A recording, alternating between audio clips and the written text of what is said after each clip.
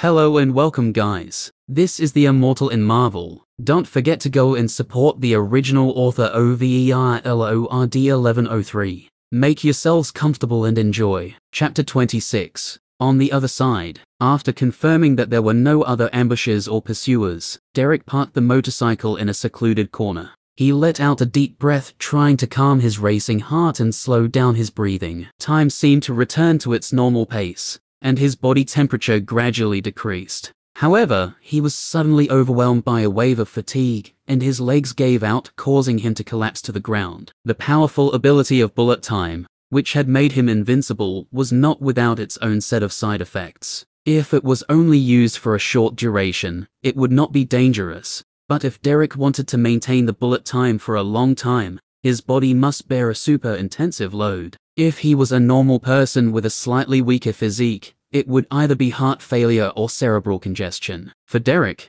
who maintained the bullet time for several minutes, his body organs had already been overwhelmed. So after the bullet time was released and the excitement of adrenaline was removed, the feeling of death came flooding up. It's just that while the body's organs were failing, a wave of heat was also quickly repairing the damage to Derek's organs. Seeing Derek collapse suddenly, Frank dragged his injured body and hurriedly checked him.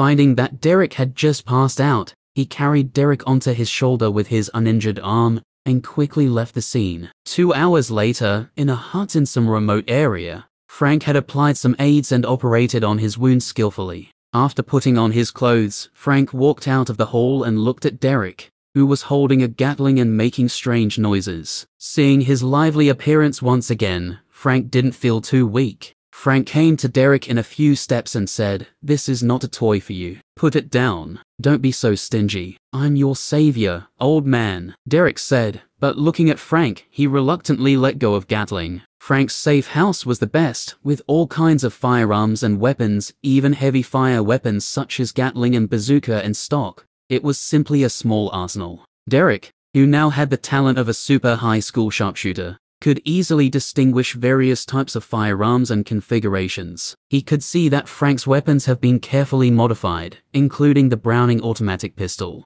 However, Derek had a strong feeling that he also would be able to modify firearms. He couldn't wait to find a gun to try at once. Hearing Derek's words, Frank twitched. Whose fault do you think this all was? If Derek hadn't implicated him, he would have escaped in peace. Derek looked at Frank, the tough guy who was shot, but still full of energy. He then said with some doubt, Well, why don't you tell me the truth, then? Have you participated in transformation experiments before, such as the Super Soldier Project or something? That's Captain America, not me. Frank was sullen. Captain America was no secret to the world. There was also the Captain America Museum in New York, which contained all the records of Captain America's deeds, as well as his brotherly love and hatred for Bucky. Then it doesn't make sense, Derek muttered softly. To him, Frank's physique seemed a bit inhuman. Frank didn't bother with these boring topics and said in a deep voice, I'll tell you one thing, we are in big trouble. The Russian Ross gang is looking for our whereabouts everywhere and has issued a high reward for us in the underworld. It seems that they don't want to let us go like this.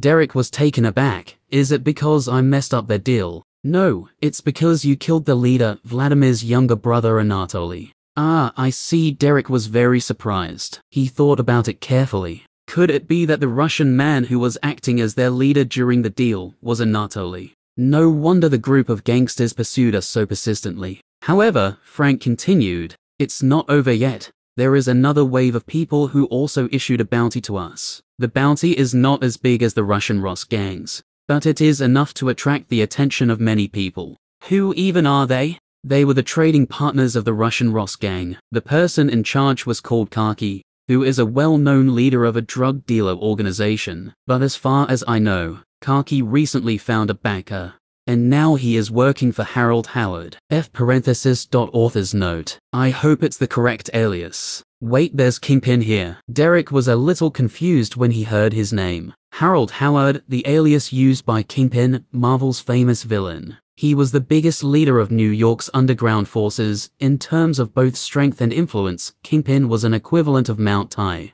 The commission that Derek accepted was to disrupt an illegal transaction of a group of gangsters. But the problem was that the information provided only showed that the Russian Ross gang and a drug dealer organization were involved in this transaction, but the people in charge of this transaction were not mentioned. How would have Derek known that one party was the relative of the leader of the Russian Ross gang, and the other was Kingpin's subordinate? Now, due to a lack of information, he had to face the bounty offered by Kingpin and the Russian Ross gang at the same time. Chapter 27 How much is the reward on our heads? Harold gave 5 million, and the Russian Ross gang gave 10 million. As long as we are caught, the killer can get a total of 15 million United States dollars. This is a wave of big loss. What loss? Frank frowned. I'm talking about the commission I accepted. The employer's request was to destroy the drug trade of the Russian Ross gang. I thought it was an ordinary gang deal, but I never expected this shit. In the end, I offended both the Russian Ross gang and King Harold. Derek said with a somewhat depressed expression. The most outrageous thing is that the reward for my commission was only a mere 100,000 United States dollars and the reward on my head in exchange for it went in millions. Frank looked at Derek expressionlessly. Although they hadn't been in contact for a long time, he doesn't feel that Derek has anything to do with the word wary. Derek revealed the whole situation to Frank with nothing hidden. To him, a stranger he just met, that too in a suspicious area. Ignoring Derek's ugly face that only cared about money, Frank slowly said, an important member of the Ross gang in Russia trades drugs with Kingpin's subordinates, but the employer can easily know where they are trading. There was a problem with this commission. After pondering for a moment, Frank suddenly came to an unexpected conclusion. Hearing this, Derek was thoughtful. This commission really is not right. Back then, I had to travel all over New York by car to find a gangster, but this time it was easy to find the place of commission. It was a little too smooth. It feels like someone dug a hole to lure me into it on purpose. Frank said calmly, I'm afraid this commission wasn't aimed at you, but just happened to be found by you. You mean someone is using this? Frank nodded and asked, Who is your employer? I don't know. The employer's information is confidential. Maybe I can find some clues after I go back. Under Frank's constant reminders, the more Derek thought about it, the more he felt that this commission was weird. Originally, he just wanted to unlock the achievement, but when he saw that it was a gangster's drug trade, he accepted the commission for a little bit of extra money he might get. But now he found that this commission seemed to be a deep dark pit waiting for someone to jump into it. Derek was now going to go back and ask Weasel about the commission. Speaking of this, Derek looked at Frank and asked, By the way, why did you come there? Frank was silent and did not answer Derek's question. Derek immediately became unhappy. This is a bit bad, old man. I answered everything you asked. But you don't even answer such a normal question. I thought we were comrades and I even saved your life. Frank was silent for a while and finally said, Khaki was my target, but you killed him. It was a coincidence indeed. Derek was commissioned to be there, and Frank too had his own goals tonight. That is to kill Khaki, the leader of the drug trafficking organization. If Derek didn't show up tonight, Frank would have still taken action to turn Khaki's body cold. With his style, he would definitely not let go of the other gangsters either, and the ending would probably be no different from now. Even without Derek's help, Frank would have been able to survive somehow with just some more injuries. I see. Derek nodded. By the way, I still don't know your name. My name is Derek, and I'm an ordinary migrant worker. Frank. Frank replied coldly, I've answered your questions. You should leave now. You'd better find a place where no one will find you and hide. Why hide? Did you not understand what I just told you? Rewards have been offered to our heads. As long as you show your face in the open, they will find you again soon. Derek touched his face and asked, Are you sure they can recognize me? Frank was speechless. For most Westerners, Asian faces were hard to distinguish. If two Asians were not put together, the difference in their appearance was unrecognizable. This was a natural camouflage and a genetic advantage he had. Besides, wasn't there a reward for your head too? Are you planning to hide? It's better for them to find me so that I don't need to waste my time looking for them, Frank said coldly. If he was afraid of being exposed, he would not go to fight criminals with nothing to disguise himself. Feeling the strong killing intent Frank was emanating, Derek knew that he was worrying over nothing. This man probably wishes that the criminals would come to his door by himself. After all, he's the one who knocks in the end, Derek thought. He then stood up, found a pen and paper, and wrote down a number, all right? If you need any help, just call me. After speaking, Derek left the room. Before leaving, he took a reluctant look at Gatling. Seeing that Frank was vigilant, he was afraid that this guy would suddenly run out with Gatling in his arms if he tried to take it, which was his original intention. Chapter 28 A gentleman in a suit and leather shoes pushed open the door to a dimly lit room. He ignored the heavily armed Russians inside and walked in slowly. At the far end of the room stood a short-haired Russian man, staring at a charred corpse on the table with a dazed expression. The gentleman glanced at the corpse and spoke calmly. Vladimir, please accept my employer's condolences for your loss. He deeply regrets the departure of your brother. However, there are some matters we still need to discuss. After a few seconds, Vladimir turned to face the gentleman. If Kingpin wants to talk, he should come here himself instead of sending an assistant, he said. Unfortunately, my employer cannot come in person at the moment due to some issues. However, he has given me full authority to handle this matter on his behalf. You can trust me to act in his best interests, the gentleman replied, maintaining his composure. Vladimir stepped forward, his eyes glinting with a cold light. He approached the gentleman with a menacing aura resembling a brown bear full of gnawing anger. I said Fisk should come here himself, and not send one of his dogs to talk with me. He snarled. The man narrowed his eyes but kept his tone calm. Please refrain from using that name here, he said. Vladimir sneered. Oh, you mean Kingpin or Wilson Fisk? What should I not call him? Aren't they both the same? He taunted. Vladimir's eyes turned colder, and he glared at the man with cruelty dripping from his face. As the leader of the Russian Ross gang, he feared no one, not even Kingpin, who had gained widespread notoriety. He jabbed his fingers hard into the man's chest, using his immense strength to push him back several steps. Your name is Wesley, right? You tell Fisk that if he wants to talk, he should come to me himself. Tell him not to use this perfunctory attitude. He growled. Despite being treated this way by Vladimir, Wesley remained calm and nonchalantly straightened his collar. Wesley's expression remained calm as he spoke. Since you're not interested in discussing business affairs,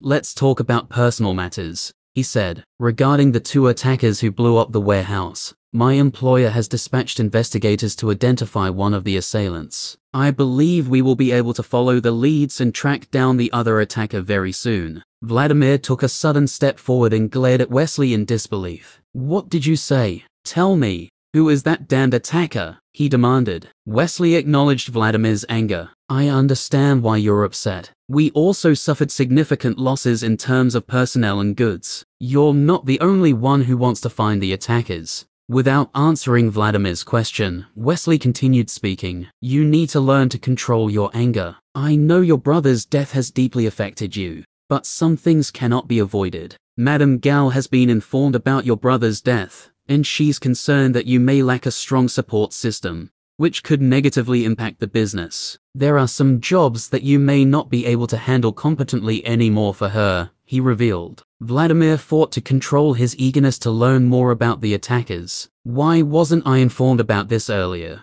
We were discussing it in private, Wesley explained. Wesley then smiled slightly. Fortunately, my employer is willing to assist you in regaining your footing. For example, we could provide additional services to support you in some missions he offered. Vladimir's expression turned defensive as he asked warily, Is Fisk trying to take over my job? Before Wesley could finish speaking, Vladimir concluded their real purpose. Madame Gao, Kingpin and the two Ross brothers, Vladimir and Anatoly. They were all gang leaders from Hell's Kitchen, but they did not fight with each other. They chose to join forces to carry out criminal activities, each completing a different set of tasks to achieve non-conflict and uniform distribution of interests. In this, Vladimir and Anatoly are mainly responsible for the transportation of goods. Wesley was right about one thing though. Because they were two people, Vladimir and Anatoly were able to jointly manage more sites. Now that Anatoly was dead, the site managed by him had temporarily become unmanaged,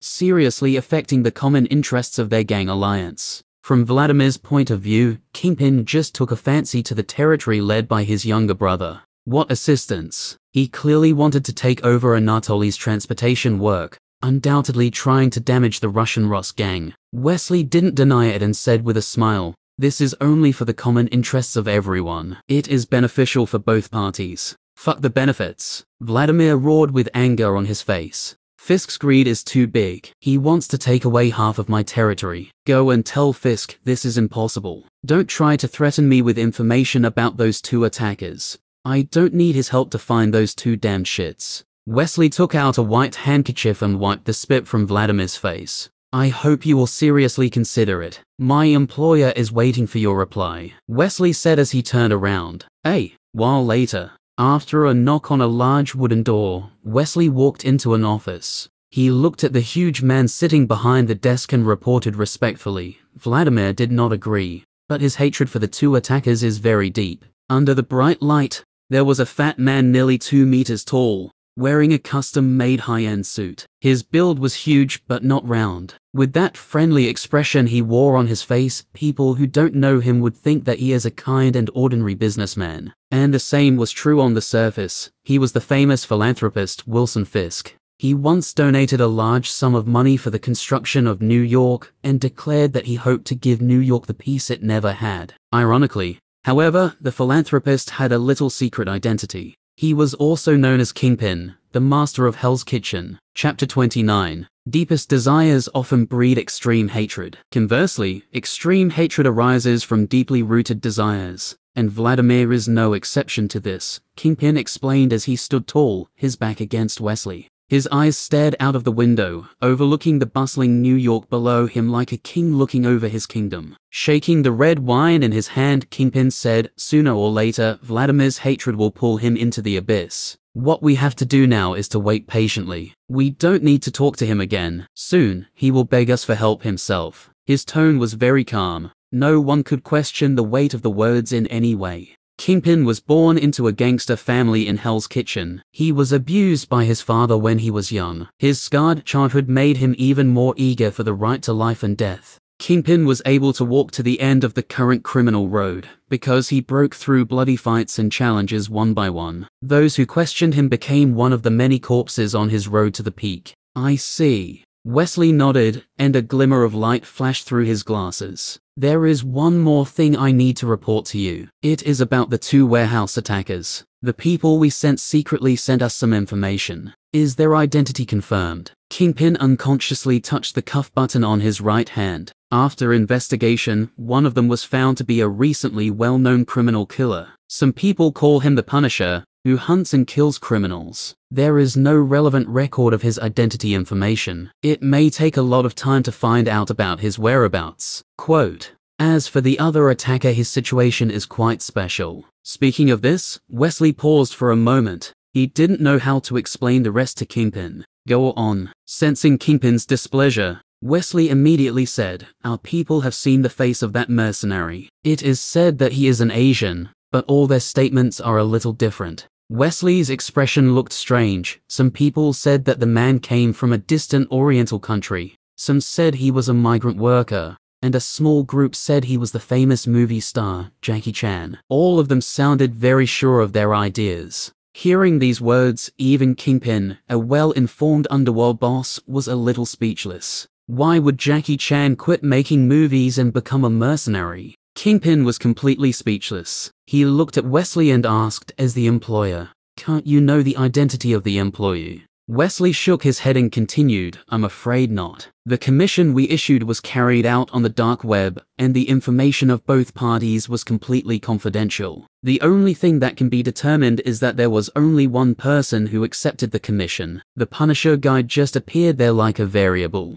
It seems that the person who accepted the entrustment is also not someone ordinary. Originally, we just wanted to find a completely innocent outsider to disrupt the transaction with the Russian Ross gang. After secretly eliminating Anatoly and Khaki, all the blame would be put on the guy's head. Kingpin spoke slowly, with an imperceptible amount of surprise in his eyes. Unexpectedly, this person had the ability to eliminate all men at once. Our people had no chance to make a move. What surprises me even more is that the people sent by Vladimir not only failed to stop them, but also they all died. The employer of Derek's entrustment was the New York underworld's kingpin. It was also due to this reason that Derek's commission went so smoothly. That is how he knew the exact location of the drug deal. Although Khaki had just started working for him, Kingpin did not trust him at all. Moreover, only after the death of Khaki, the leader of the drug trafficking organization, could Kingpin annex Khaki's drug trafficking organization and completely turn Khaki's power into his own.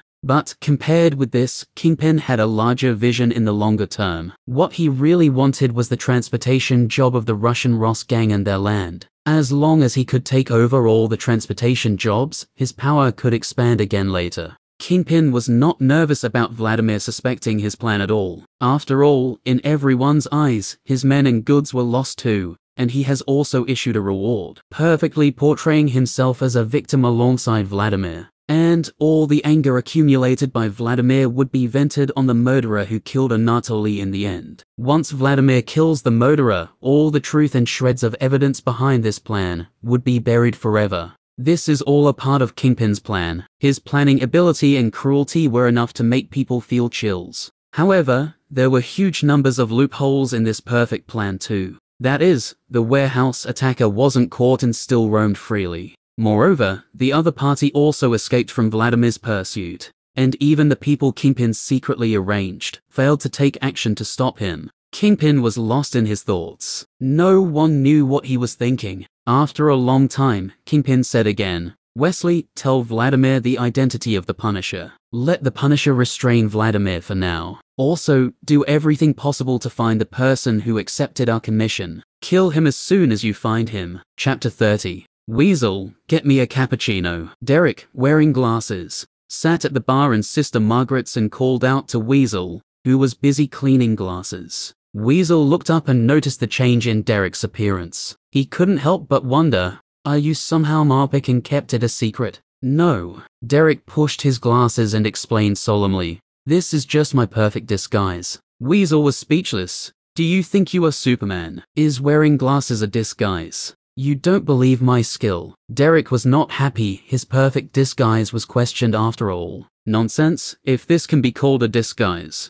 Wouldn't a woman be required to get a plastic surgery every time they want to use makeup? Weasel's voice was a little uncontrollable, and suddenly found the long-haired woman standing on the right side of the bar staring at him. He then said embarrassingly, Oh, oh, Vanessa, this is just a metaphor. I have no ill will towards women who wear makeup. Vanessa. Derek turned his head and glanced at the long-haired woman standing nearby. It turned out that she was the girlfriend Wade had been walking about all along. But it seemed like Vanessa didn't know that Wade was still alive, and Wade also hid himself, scared of meeting her with his new face. Derek turned his attention back to Weasel and spoke with confidence. If you still don't believe me, how about we make a bet? I bet that my disguise is foolproof. And as proof of my confidence, I offer this cappuccino as my wager. Yes, alright, but how do you complete this bet? Weasel became interested. Derek looked around and then saw a bearded man passing by. Hey Buck. The bearded man heard someone calling his name and looked at Derek suspiciously. Who are you? Do we know each other? It's me, Derek said as he took off his glasses. It turned out to be you, Rice Guy. I almost didn't recognize you. How have you been? Dot dot dot dot dot. Weasel was speechless, standing behind the bar. If he remembered correctly, Derek and Buck seemed to have met each other a few days ago. Well, I admit that this is a disguise, but I can't deny that Buck is indeed a little blind either. Weasel took out his precious coffee powder with some distress and made a perfect cup of cappuccino for Derek. Putting the coffee in front of Derek, Weasel handed out a black card at the same time and jokingly said, Now now, your popularity is very high, Mr. 15 million. I can't help but be tempted by this. Derek picked up the black card and found that the content on it was actually about himself. Targets, the Punisher and an unidentified Asian. Contents of the commission. Two people sabotaged the important deal between the Scorpion organization and the Russian Ross gang. One of them is the Punisher, the criminal killer, and the other is an unknown Asian, suspected to be Jackie Chan. No confirmation yet. Killing or capturing the two can get 15 million US dollars. Information according to the degree of effectiveness to give a part of the reward. Right brace. The information on this reward has just been updated. I didn't expect you to be related to the Punisher. As an information dealer, Weasel naturally knew the famous deeds of Frank. It was an accident, bruh. Derek didn't expect that Frank's identity would be exposed before him. In other words, now Frank was facing the threat of all the bounties alone, which was equivalent to standing in the eye of the storm. The temptation of 15 million United States dollars was very big. There was no idea how many beasts this would attract. Derek took a sip of coffee and asked Weasel, has the investigation about what I asked started? Weasel nodded. You're right. There seems to be a problem with that commission. Upon further investigation, I discovered that the frozen warehouse was rented just two weeks ago. It's likely a temporary trading location. Other than the person in charge of the transaction that night, there should not have been more than a few people who knew about it in advance. So, my employer is one of the insiders. Yes, Weasel scanned the bar and confirmed that no one was paying attention to him. He then lowered his voice and said, According to my guess, this employer is likely to be someone higher up in Hell's Kitchen. Derek frowned. Him, the other gang's backer was Kingpin. Wait a minute. You mean it's either Kingpin or the leader of Russia's Ross gangs? I heard that the leader of the Ross gang was going crazy, searching the city for the whereabouts of the Punisher but there seems to be no movement from the other side. It was obvious enough what Weasel meant and what he had concluded. Derek's face contorted with disbelief. Kingpin was my employer. He exclaimed, his mind racing with the implications of this revelation. This is just my guess. But, if this is indeed the case, I advise you to try not to show your face. Kingpin is not a very kind person. He is much crueler and stronger than you can imagine. Although Weasel knows that Derek was special and has the same healing ability as Wade, the thing was his combat experience was non-existent. He could only deal with some small-time gangsters.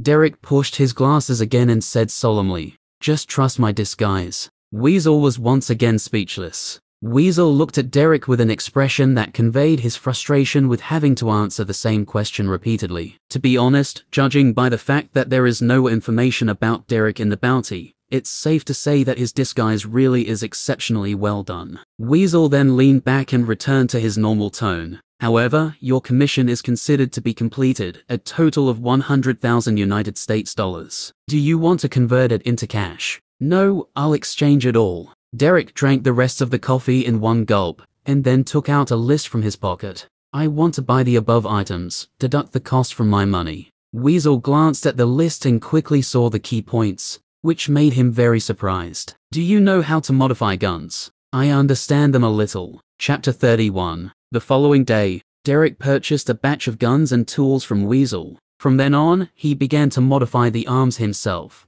As Derek began to modify the arms, his innate talent as a super high school level sharpshooter was activated once again. It was as if a switch had been flipped, and a sense of familiarity washed over him like an instinctual wave. Without even realizing it, he was able to effortlessly distinguish the functions of firearm accessories, while a multitude of values and specs flooded his mind. With all this assistance, Derek soon modified the first pistol. The modified pistol's power was more than double that of ordinary pistols, yet miraculously, the recoil remained unchanged. In stark contrast to Frank's modified Browning automatic pistol, which was undeniably powerful but had a jaw-dropping recoil, Derek's modified pistol was a work of art. If it weren't for his extraordinary physique, Frank would have never been able to use his pistol perfectly. Derek did not keep the pistol for long, and disassembled it and rebuilt it again in another way. As Derek continued to make modifications to the pistol, he tapped deeper into his super high school level sharpshooter's potential. With each new modification, his skills grew exponentially. It was as if his experience was visible to the naked eye as his speed and precision improved rapidly. The instinctual familiarity he once felt with firearms had now evolved into a substantial expertise. Through his experiences, Derek gained a new understanding of what it meant to possess such a super high school level talent. Derek realized that super high school level talent was not something that could be forced or implanted into the body. Rather, it was more like a natural ability and instinct that could be honed and perfected through dedicated practice and hard work. He understood that to fully integrate the theories and skills associated with his talent, he would need to put in countless hours of training and disciplined hard work. Five days later, Derek went to an open field in the suburbs. I have to admit it, America does have an advantage. There is no shortage of land here. In some places, it's even hard to find a living person, like in a graveyard. Derek surveyed the empty field before him, scanning the area to ensure that there was no one within a hundred meters of him. Satisfied that he was alone, he lowered his hands and suddenly two pistols appeared in his grasp. These were no ordinary firearms, but rather ones that had been outfitted with specialized propelling devices that Derek had built and concealed within his clothing. Derek's pupils shrank suddenly. His body was constantly secreting adrenaline, and his brain was functioning rapidly to calculate everything, centering on his own body, using the prototype geometry as the plane of reference, constructing a statistical model in his mind, and the trajectory angles and distances of all attack points in front of his eyes. F parenthesis dot author's note. Damn, I should have studied. Suddenly, Derek straightened both his arms horizontally and pointed to the left and right sides as the muzzles of the guns erupted with flames. Bang, bang, bang, bang. The muffled gunshots sounded simultaneous. They didn't sound like pistols, but more like two machine guns. With the sound of the gunshots, Derek turned his body and quickly swung his arms. This time it was not an arc's trajectory, but a more straight and direct attack. Although the speed is fast,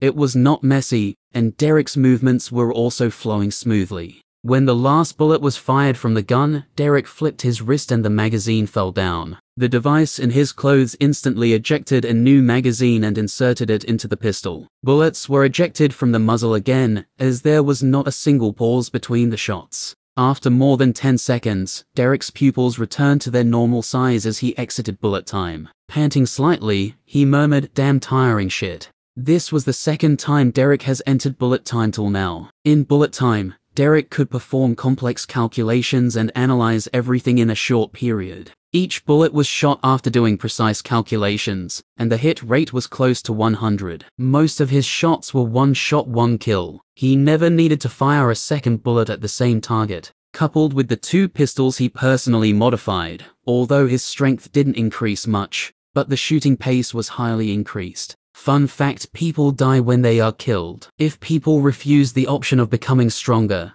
the threat of the enemy increases, which might end up killing them. Gunfighting techniques plus firearms modification. This was the perfect method to utilize the super high school level sharpshooter talent perfectly. After finishing the test, Derek put the pistols back in his sleeve and walked to his home. While passing by a deserted construction site, Derek accidentally saw two figures, one big and one small standing inside. They looked like father and daughter to Derek when he saw the way they talked to each other. Before Derek could take a closer look at them, he saw the man, who seemed to be her father, suddenly raise a pistol and point it at the cute little girl. F author's note. There is no loli in this FF. Just saying, liking lolis is pedo IMO. What the hell? Derek's pupils shrank again as time instantly slowed down. A pistol slipped from his sleeve as Derek swung his arm. While this was happening, the man pulled the trigger and shot a bullet at the little girl. Derek, too,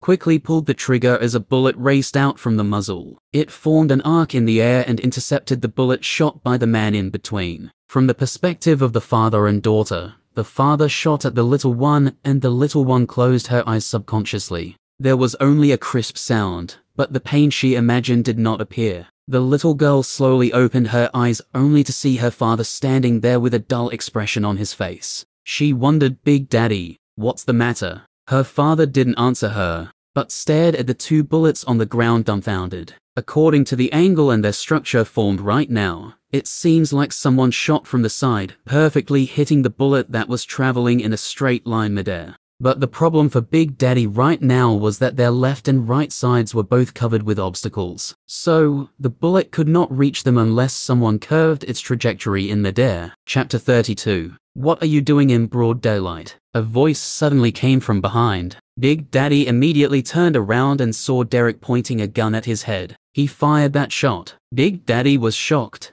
Although he couldn't believe it, the situation was right in front of his eyes. Someone shot and intercepted his bullet. But what was more shocking was that the other person was behind him all the time. Big Daddy. Seeing Daddy being pointed at the head, the young girl hurried over. The young girl, who appeared to be only about 11 years old, stood a short distance away from him. Despite facing him with a gun in his hand, she displayed no fear on her face. Instead, she exuded an aura of ferocity and fearlessness that belied her young age. She regarded Derek as an enemy and assumed a combat ready posture to face Derek head on. Mindy, stand behind me. Big Daddy stopped her, stretched out his hand to protect her, and then used his body to block the muzzle of the gun. He stared at Derek intently. Who are you and what do you want? Seeing this situation, Derek frowned. Wasn't I brave trying to protect her? How did I become the bad one here? Derek then looked at Big Daddy and Mindy, and suddenly noticed that Mindy was wearing a small body armor,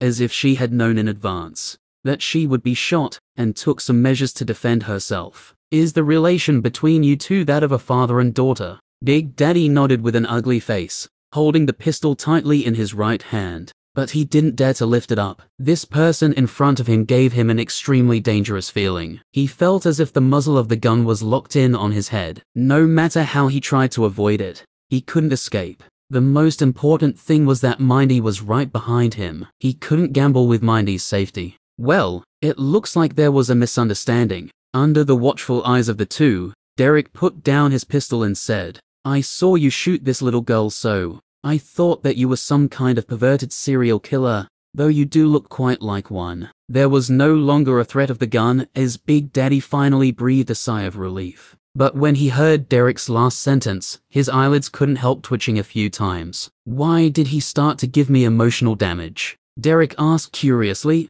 So what are you two doing? We were training. Before Big Daddy could open his mouth, Mindy replied in a childish voice while looking at Derek with glowing eyes. How did you do that just now, intercepting bullets with bullets? Oh my god, this is so cool. You aren't a superhero like those guys in the comics, are you? Derek shiftily replied, Do you want to learn? I'll teach you. Yes. Ahem. Big Daddy coughed and interrupted their conversation. He grabbed Mindy's little hand and said to Derek, Sorry, we still have things to do. My daughter and I won't bother you. Big Daddy then led Mindy away from the scene quickly. Derek didn't stop them because he had already guessed the identities of these two people. Hit Girl and Big Daddy from Kick-Ass. Big Daddy was an anti-hero like Punisher. He was also a ruthless person who never left a criminal alive. Don't be fooled by Mindy's cuteness either. She might be an innocent child now, but she grows up to be a bloody and violent person too, and all of its credit goes to her father's skillful upbringing. Her training was comparable to the iron-blooded training of Sparta.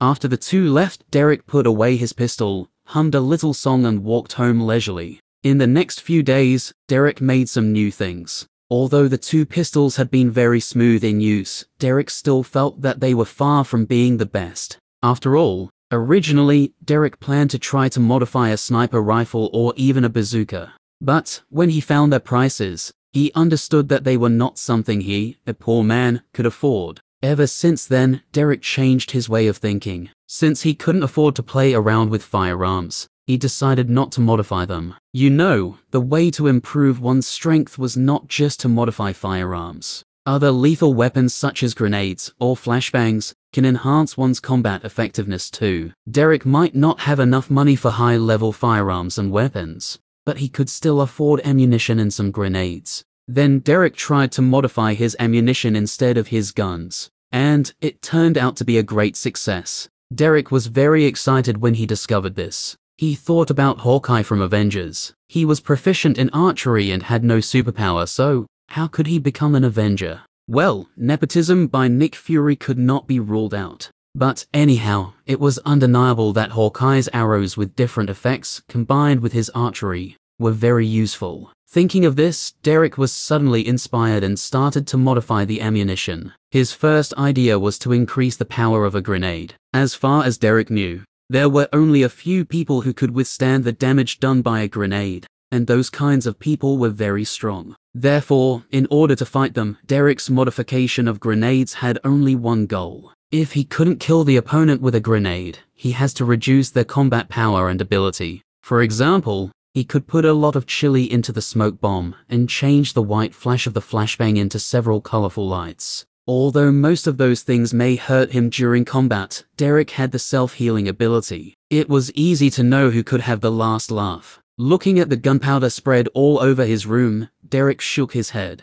It feels like this is not enough, and my money is almost finished. It seems that I have to find Weasel for another commission. Chapter 33 Derek went to the empty field again to test the power of his newly modified ammunition, and the results made him very satisfied. He walked by the abandoned construction site again, but did not see the father and daughter duo. Anyways, Derek knew that the reason was not him, after all. He looked so kind. By the way, why do I always meet anti-heroes? Be it Wade, Frank, Mindy, or Big Daddy, none of them was a kind-hearted and friendly person. Derek had a feeling that he, a cute and innocent sheep, had fallen into a pack of wolves. If this continued, it would be difficult to ensure that his sane mind would not be affected by these wolves. Back in Brooklyn, Derek happened to see a restaurant and walked in, since he hadn't had proper dinner till today. During his period of stay in America, Derek was busy with various things. So he mostly ate fast food. To be honest, fast food in America was really cheap according to him. Not only was the portion large, but also the price was also cheap. This was also the reason why many poor people were keen to eat fast food, which led to the emergence of so many obese people. Although Derek was not afraid of gaining weight by consuming fast food, he was afraid that he would throw up soon, if he continued eating only that. Moreover, now that he has time, he plans to change his taste. Walking into the restaurant, Derek found that the restaurant was almost full. A waiter came over to Derek and asked him with a smile, A table for how many people, sir? One person. Was sorry, sir, we don't have a vacant table for one person at the moment. The waiter apologized professionally. However, if you don't mind, you can share a table with another customer. Yeah, sure. Derek didn't care. It didn't matter to him where he ate. All that mattered was food. Food is love. The waiter walked away and came back quickly. There are two guests who have agreed to share the table, sir. Please follow me. Derek nodded and followed the waiter into the restaurant and stopped near a corner. Derek looked at the seat and found that there were two young men. One was a fat man with slightly curly hair, and beside him was a blind man with a guide stick. Seeing them, Derek suddenly felt a little uncomfortable. But he didn't care, thinking he was just affected by the environment of the restaurant. Derek then sat beside them. He took the menu from the waiter and ordered two main dishes that sounded good. At this time, the curly haired fat man said enthusiastically, It seems that we are not lonely tonight. Derek laughed and said, There are two of you. You were not lonely before, anyways. The curly haired fat man smiled and did not respond. He took out a business card and handed it to Derek. My name is Fudge Nelson, and this is my colleague Matt Murdock. We are the lawyers and founders of the Nelson Murdock Law Firm. We have been in the industry for a short time and are actively looking for new clients. If you need the help or guidance of a lawyer, we would be happy to help you. Fudge introduced both of them with a smile, looked at his silent companion beside him, and asked in a puzzled tone, Hey, Matt, why aren't you talking all of a sudden? Derek took the business card and looked at it, and couldn't help looking up at Matt. Is this a coincidence? I was worried that I would be influenced by some great people, and here appears another. Although Matt was blind, he was actually a hero too. In the future, they will join Defenders. Although he cannot see, he has super sensory abilities and superb fighting skills. He is the famous blind hero, Daredevil, no wonder Derek felt a little strange when he just sat down. Judging from Matt's reaction, Derek guessed that his keen sense of smell recognized the residual gunpowder smoke on Derek's body, which aroused his vigilance, and Matt was now observing Derek. Derek felt a sudden chill run down his spine. Wait, isn't he observing me without my consent? That's an invasion of my privacy. Let's just bullet time. Matt Murdock, code name Daredevil. This evening, Matt and Fudge came to this restaurant on Fudge's recommendation to celebrate the establishment of their new law firm. As a result, when they were halfway through eating, the waiter suddenly came over and asked if they could share the table with a customer.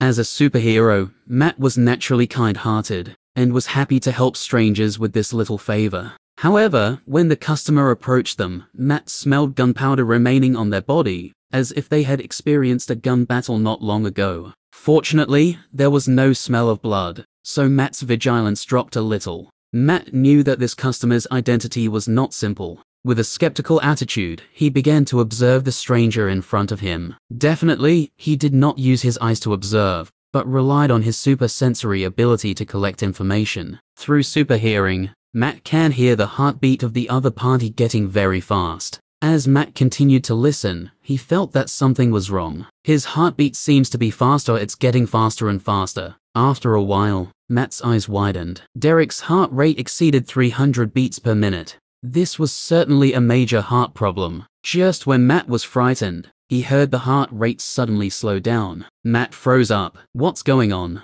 Matt was not an expert in medical matters, so he couldn't figure out what was going on with his heart rate but he knew that something was weird. Suddenly, the heart rate increased again and reached 400 beats per minute within moments. Matt almost stood up. In less than a second, the heart rate suddenly dropped again. Matt's face turned pale as Derek's heartbeat made his heartbeat dance along with it. Before Matt's heart eased up, the weird heartbeat rate increased again. For the next half minute, Matt listened to the heart rate rise and fall until it settled into a rough rhythm. Matt clutched his heart. He felt as if he was sitting in an exciting music fest. His expression was dull, and he murmured in disbelief, Is this Symphony of Destiny? Chapter 34. At the same time as Matt, Derek also clutched his chest with a pale face. This is the first time he had turned on and off the bullet time so quickly, which made him feel a little weird in his heart. He was immortal but not emotionless, the quick shifts in his heartbeat made him nervous for a moment.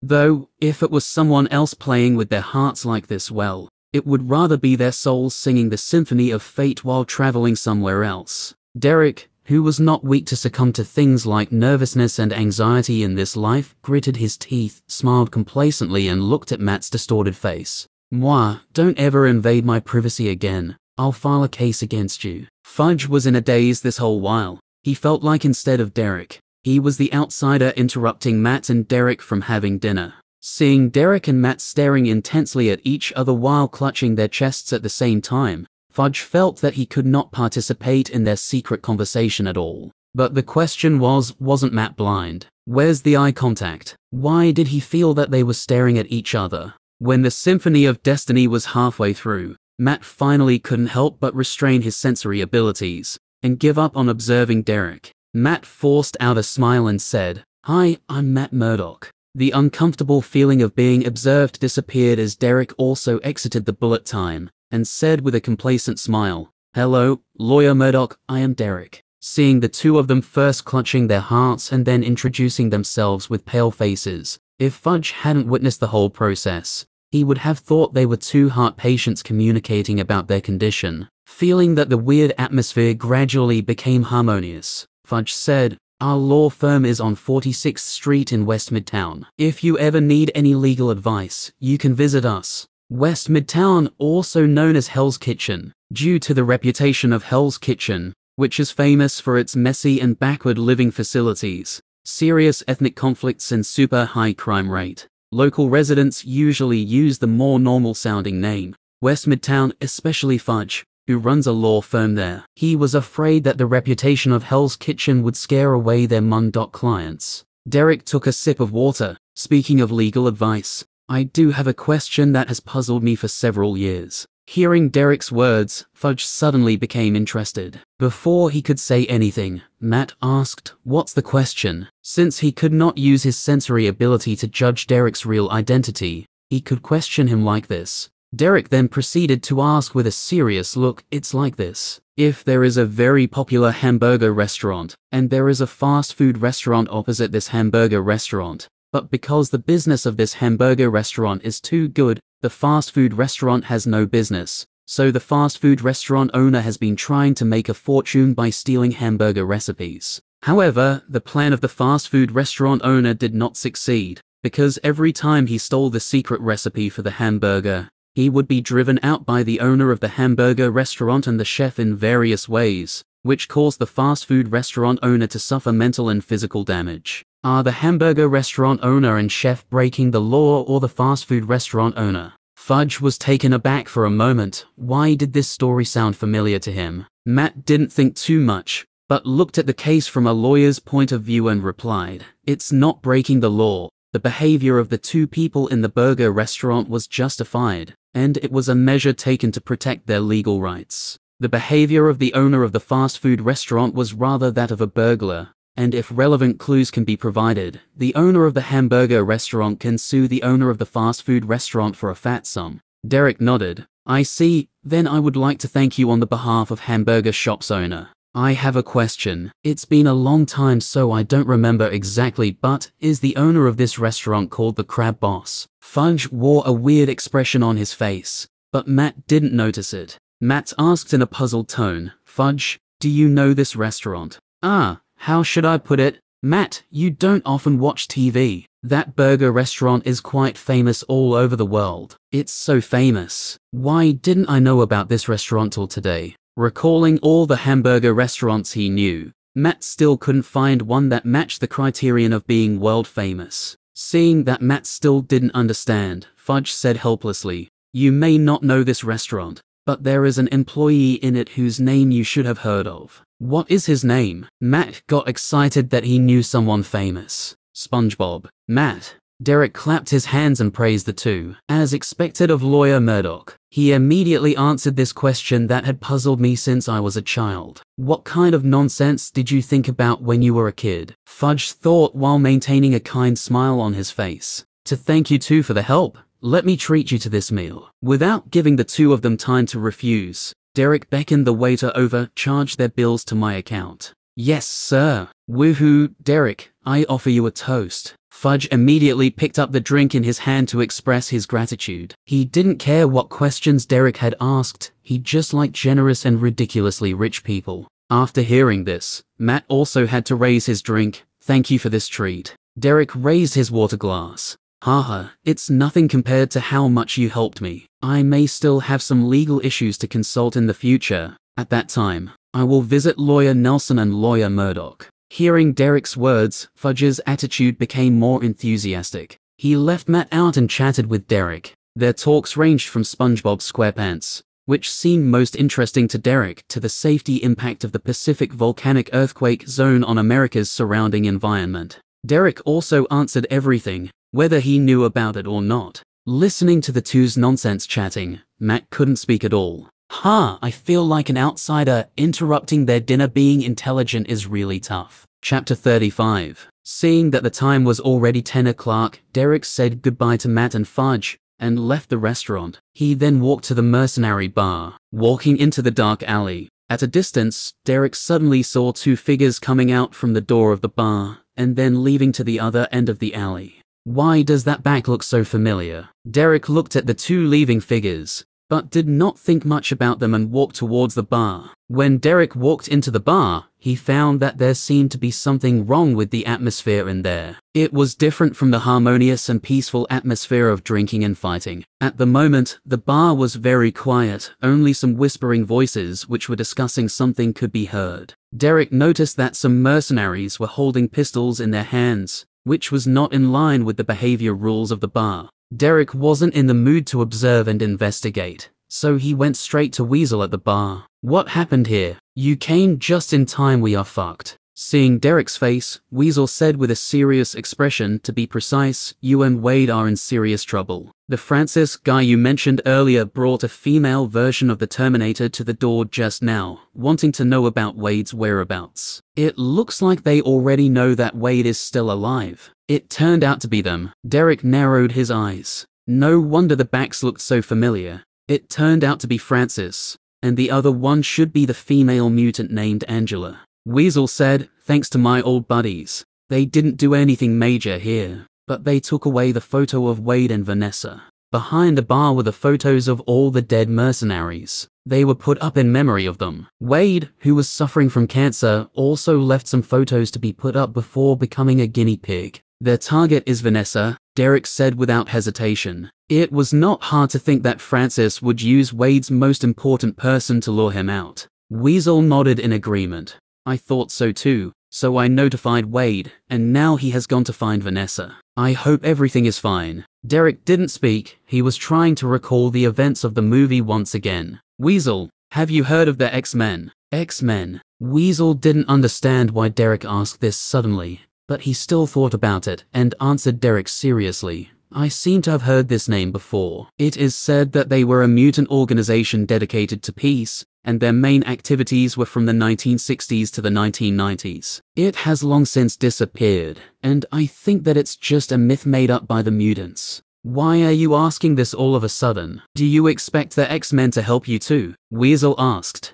Yeah, Derek's face was full of worry. He had already discovered that although there were mutants in this world, there was no news about X-Men. It was as if this organization did not exist in the world. If that were the case, then the question arises, without the existence of X-Men, the two important supporting characters in the movie, Colossus and Warhead would not appear. Can Wade find a suitable helper to deal with Francis then? After a while, Weasel received a call. Seeing the caller ID, Weasel showed Derek that it was Wade calling. When the phone was answered, Weasel heard Wade snarl, fuck. Fuck. That bastard took Vanessa. Prepare a gun for me. I'm going to stick the muzzle inside his ass and shoot his shit out of him. Weasel secretly thought that Wade was slowly getting worse and hurriedly advised him, Wade, calm down. Let's find a place to meet. I'm calm. I'm fucking calm now, right now. Fuck you put this can here. Come here, you motherfucker. I fuck your dash. Wade's voice was full of anger and mania as he yelled on the phone, Meet me at your house. With the crisp ringing of the bar, the signal from Wade's end was disconnected. Weasel's face changed slightly as he said, Damn it. Wade doesn't have the key to my house. That guy is going to break my door, right?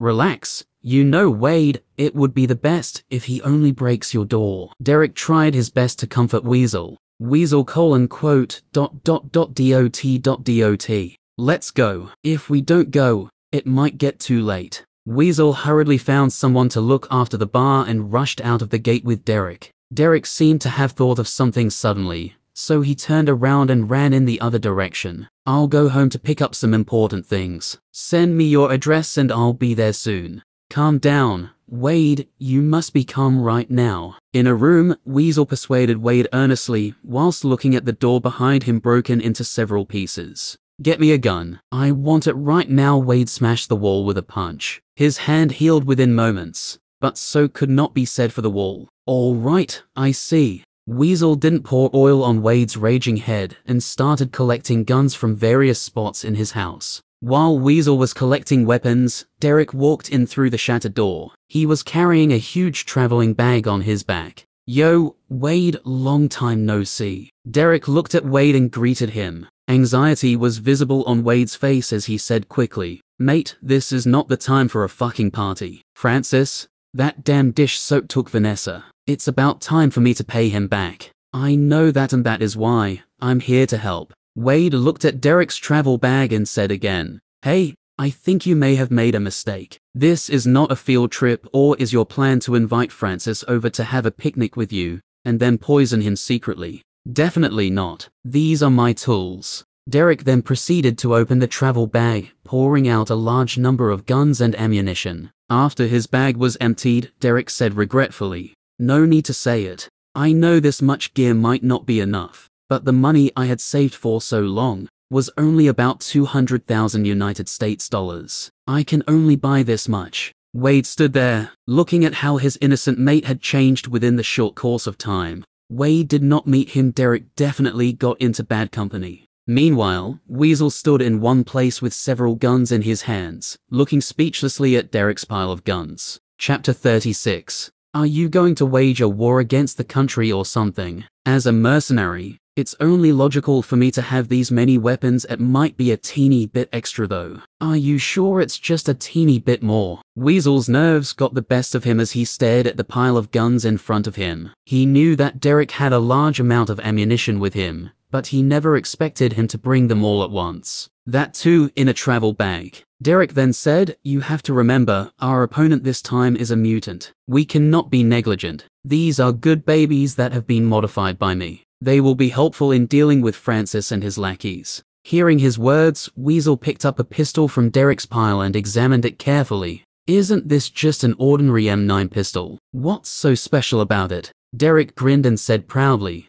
the most unique thing about this pistol is that it has a fingerprint shooting function. Only if it detects my fingerprint will it shoot. If the fingerprint on it is of some person other than me, what happens if the fingerprint is wrong? Weasel asked curiously. Boom. Whoa, the fuck? Why didn't you say that earlier? Seeing the weasel's face, Derek explained, I haven't had time to activate that function of this pistol yet, so it won't explode yet. Weasel immediately breathed a sigh of relief and hurriedly returned the pistol to Derek, not daring to touch his pile of weapons. Who knows what kind of weird weapons might be there? Wade looked at the pile of guns and ammunition, obviously misunderstanding something, and thanked Derek. You are still a good friend. You are indeed a real bed mate who has slept together with me for more than two months. I will accept these friendly donations of yours. When I blow that dish soap's head off, you will be the first I'll remember, Vanessa later. You think too much, these are all my property. I am giving them to you for free.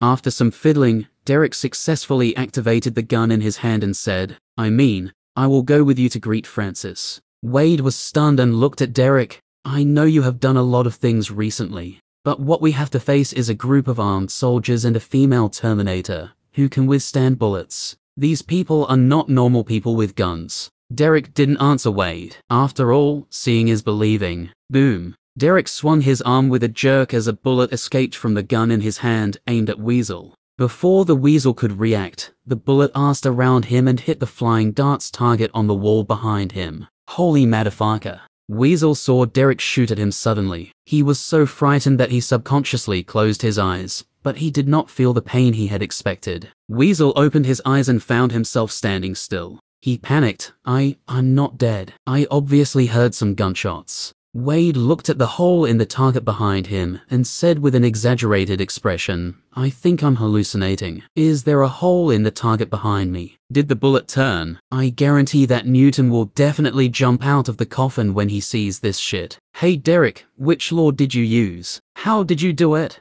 Derek explained, the law is very simple. That is, the moment the bullet is ejected from the chamber, the shooter shakes his wrist quickly to give the bullet a horizontal acceleration, thus forming an arc. This is my unique gunfighting technique. To demonstrate his skill, Derek swung his arm again and shot an arc-shaped bullet at Weasel again. Weasel, oh, dot dot dot dot dot. There is a person who can heal right there. Why do you have to use me, an ordinary person, as a target? Brilliant. You are hired. Wade happened to be in urgent need of helpers. Seeing that Derek was so awesome, he didn't care where he learnt these skills from and agreed to his joining. Just then, Wade's cell phone vibrated. That dish soap just sent me a message. Wade read the content on the phone and said angrily, Vanessa is in his hands. And he wants me to go to the recycling station at 6 o'clock tomorrow morning. This piece of shit. Doesn't he know that's not a time to get a taxi quote? Weasel said, It seems that he has made preparations in advance, waiting for you to fall into some trap.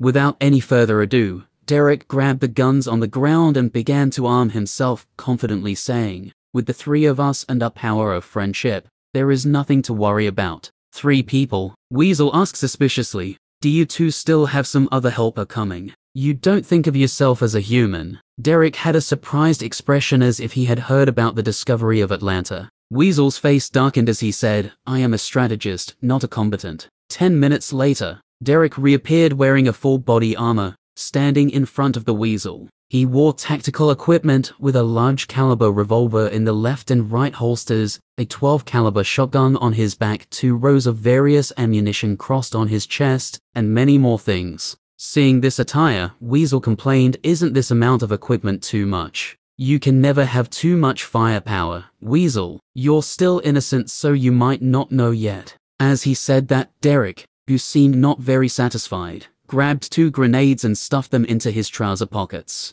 The corner of the weasel's mouth twitched as he watched him. Compared to Derek, Wade looked much cooler. He wore a black and red tight uniform, a red mask with panda eyes on his face, and two katanas pinned on his back. Among other things, he looked quite relaxed, unlike Derek. Derek seemed uncomfortable walking with that armor of his. Wade looked at Derek's outfit, then looked at his own and exclaimed, We will definitely be the best duo out there. We should give ourselves a name. What do you think of the Deadpool alliance? Nope, not good. Derek then offered his suggestion, anyways, since we both have similar abilities, we can call ourselves something like the Immortal Duo. Chapter 37 the location of the recycling station Francis invited the immortal duo to was a little far away, and they would need to take a car there. For the duo wearing full armor, ordinary taxis were definitely not a good choice. If they take it, the driver might drop them at the gate of the police department. Fortunately, Wade had some connections and quickly called a taxi from an acquaintance. The driver was an Indian man. When he saw Derek and Wade carrying a large bag of weapons, he just asked them what they were doing out of curiosity. He didn't show the panic that normal people would have. Derek felt that he was the only normal person among these, and the pressure on him was enormous. The driver and Wade were chatting happily. As the Indian man said, Mr. Deadpool, you were right before, one needs to control their own destiny. Nobody can order me. Derek looked at the map and said, turn left ahead and stop. Okay, sir. The taxi stopped at the corner as Derek and Wade stepped out of the car. From a distance, Derek saw the huge amounts of abandoned waste and a huge ship at the recycling station. You forgot to take your bag. Derek glanced at the taxi and reminded Wade. Oh, yeah? Damn. Wade quickly got his weapon bag from the taxi. He almost went into the fight with only two katanas. This guy is really unreliable. F parenthesis dot author's note. Took you a long to figure that out. Derek curled his lips, took out his binoculars, and looked at the recycling station. It was full of various piles of waste. But he couldn't see any person, nor did he see Vanessa, the hostage. As for the deck of the abandoned ship, it was too high for him, and it was difficult to see the situation there clearly. Wade, what is a plan? Derek asked. Wade grabbed two submachine guns and said, Go straight in, kill all the villains like a superhero, and then save the heroine, my girlfriend Vanessa. In the eyes of the supporting role, you, the hero, me and the heroine kiss passionately. Derek shyly said, Do I need to wait until you two start removing clothes or? Wade looked at Derek with amazement and surprise. Anyhow, back to the situation right now. Because things happened so suddenly, the two didn't have any time to think about plans. Derek thought for a while and said, We can't just rush in like this. Hey, you've come here now. Are you going to back down? I mean, you can't rush forward blindly. Your girlfriend is still in their hands. If they threaten us with your girlfriend, we will be suppressed. What ungar bunga are you talking about? Derek then proceeded to explain it all to the dumb Wade. For example, they can ask us to throw off all the arms on us, otherwise they will cut off your girlfriend's limbs, threatening to chop off her head or dash. Fuck, stop talking. At this moment, Derek's words made Wade feel that Derek was more like an evil villain, and said in a panic, Jude, I don't think they think as cruelly as you do, but you're right, we can't just rush in. We have to find Vanessa first. So, my plan is to sneak in secretly, rescue Vanessa first without anyone noticing, kill Francis on the way back out, and then go back to our houses. That's a fucking brilliant idea. F parenthesis dot author's note. U2FR dash underscore dash. After the two reached an agreement, they found a secret corner and sneaked into the recycling station. Ignoring the area that would be the best ambush point, the two sneaked into the ship from the back. When Derek and Wade reached the main body of the ship, as they had expected, several armed soldiers appeared, guarding the stairway leading to the deck. If it was him a few minutes ago, Wade would have taken both his guns and charged straight up. But now, he felt that he should be more stable. Wade said in a low voice, There are five people in total. I'll get rid of the three on the left. I leave the remaining two on the right to you. Don't bother with it. They don't know this young master's heaven-defying technique of shooting. Derek took out a small pistol from his armor. He entered bullet time, locked on the positions of the five armed soldiers, and pulled the trigger five times. Accompanied by a gunshot that couldn't be louder, five armed soldiers fell to the ground. Wade went closer to check their pulse, and found that the five people had a tiny anesthetic needle inserted in their necks. But he didn't know why they were all foaming at the mouth and their bodies were twitching non-stop. What's this? Wade couldn't help asking. That is an anesthetic mixed with toxins that ensure that they will die peacefully without any pain during the process. So I named this gun the gun of kindness, Derek explained his idea.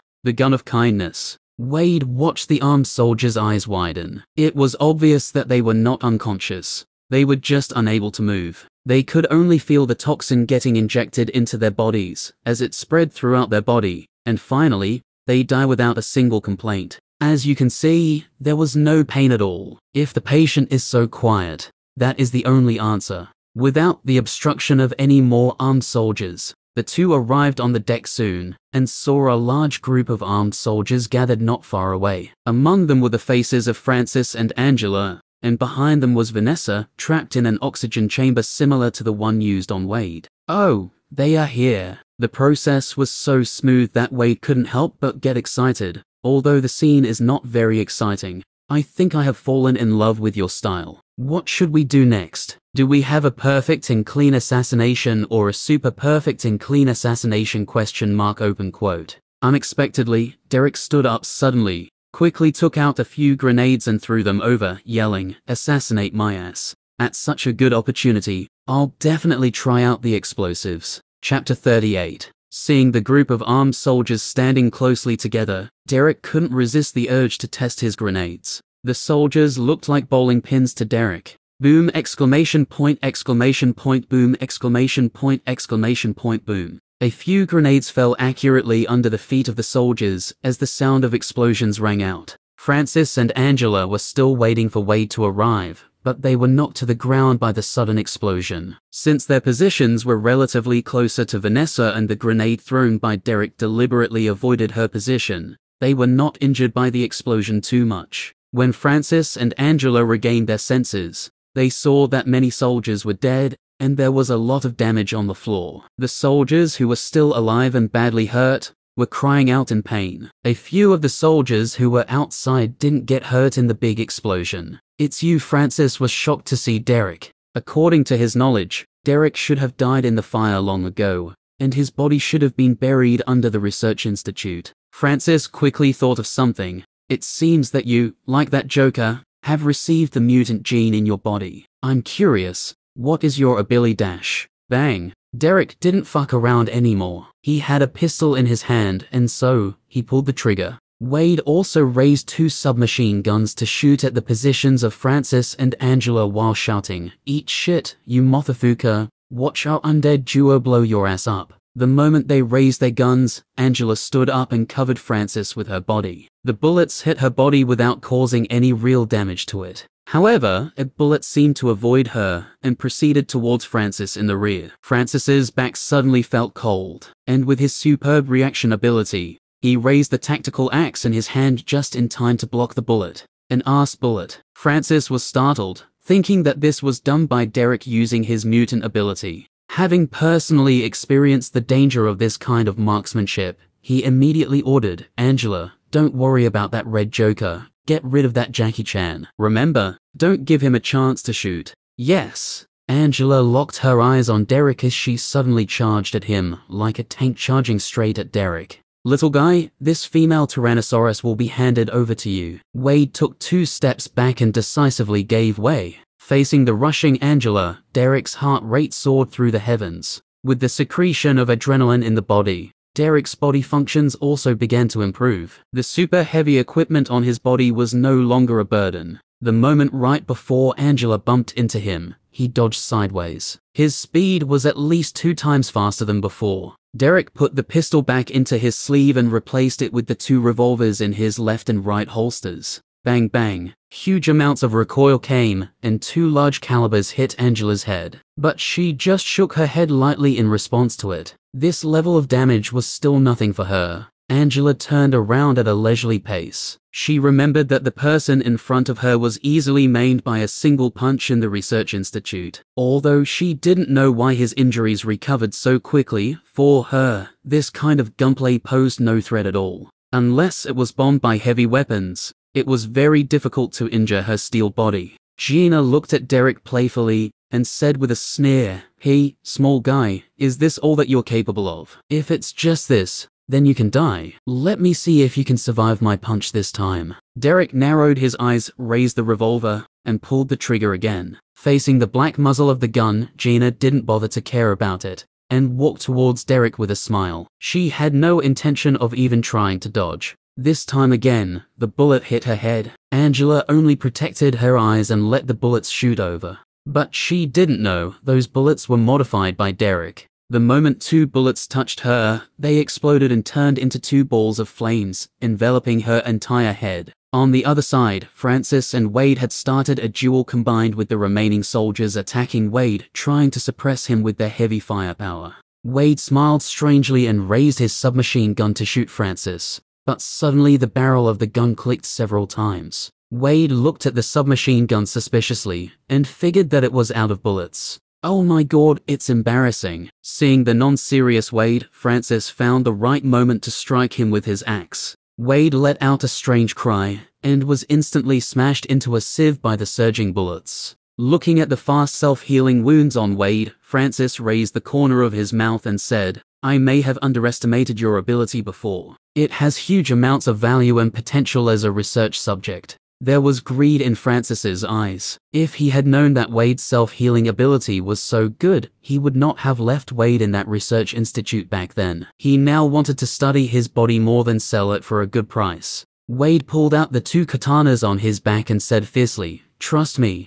I will cut your head open later and study whether it is filled with brains or shit. Just when they were about to fight again, they heard a piercing scream. Chapter 39. Ah, the scream came from Angela, who was showing off her power and durability moments ago. Now, she was frantically slapping her head engulfed in fire and screaming. Francis was shocked and quickly looked at Angela's condition. How could he hurt Angela? Francis found it difficult to imagine what kind of agony Angela must have been experiencing to let out such a high-pitched, girlish scream, especially given her durability, which was comparable to that of a bull. Angela continued screaming and finally extinguished the fire on her head. The flames obviously couldn't break through her steel skin, but her face now resembled a black man. She was perfect. A black face, a large back and big hands. I just need a farm and a why shit no. Sorry, Derek said to himself and continued looking at Angela's hilarious appearance.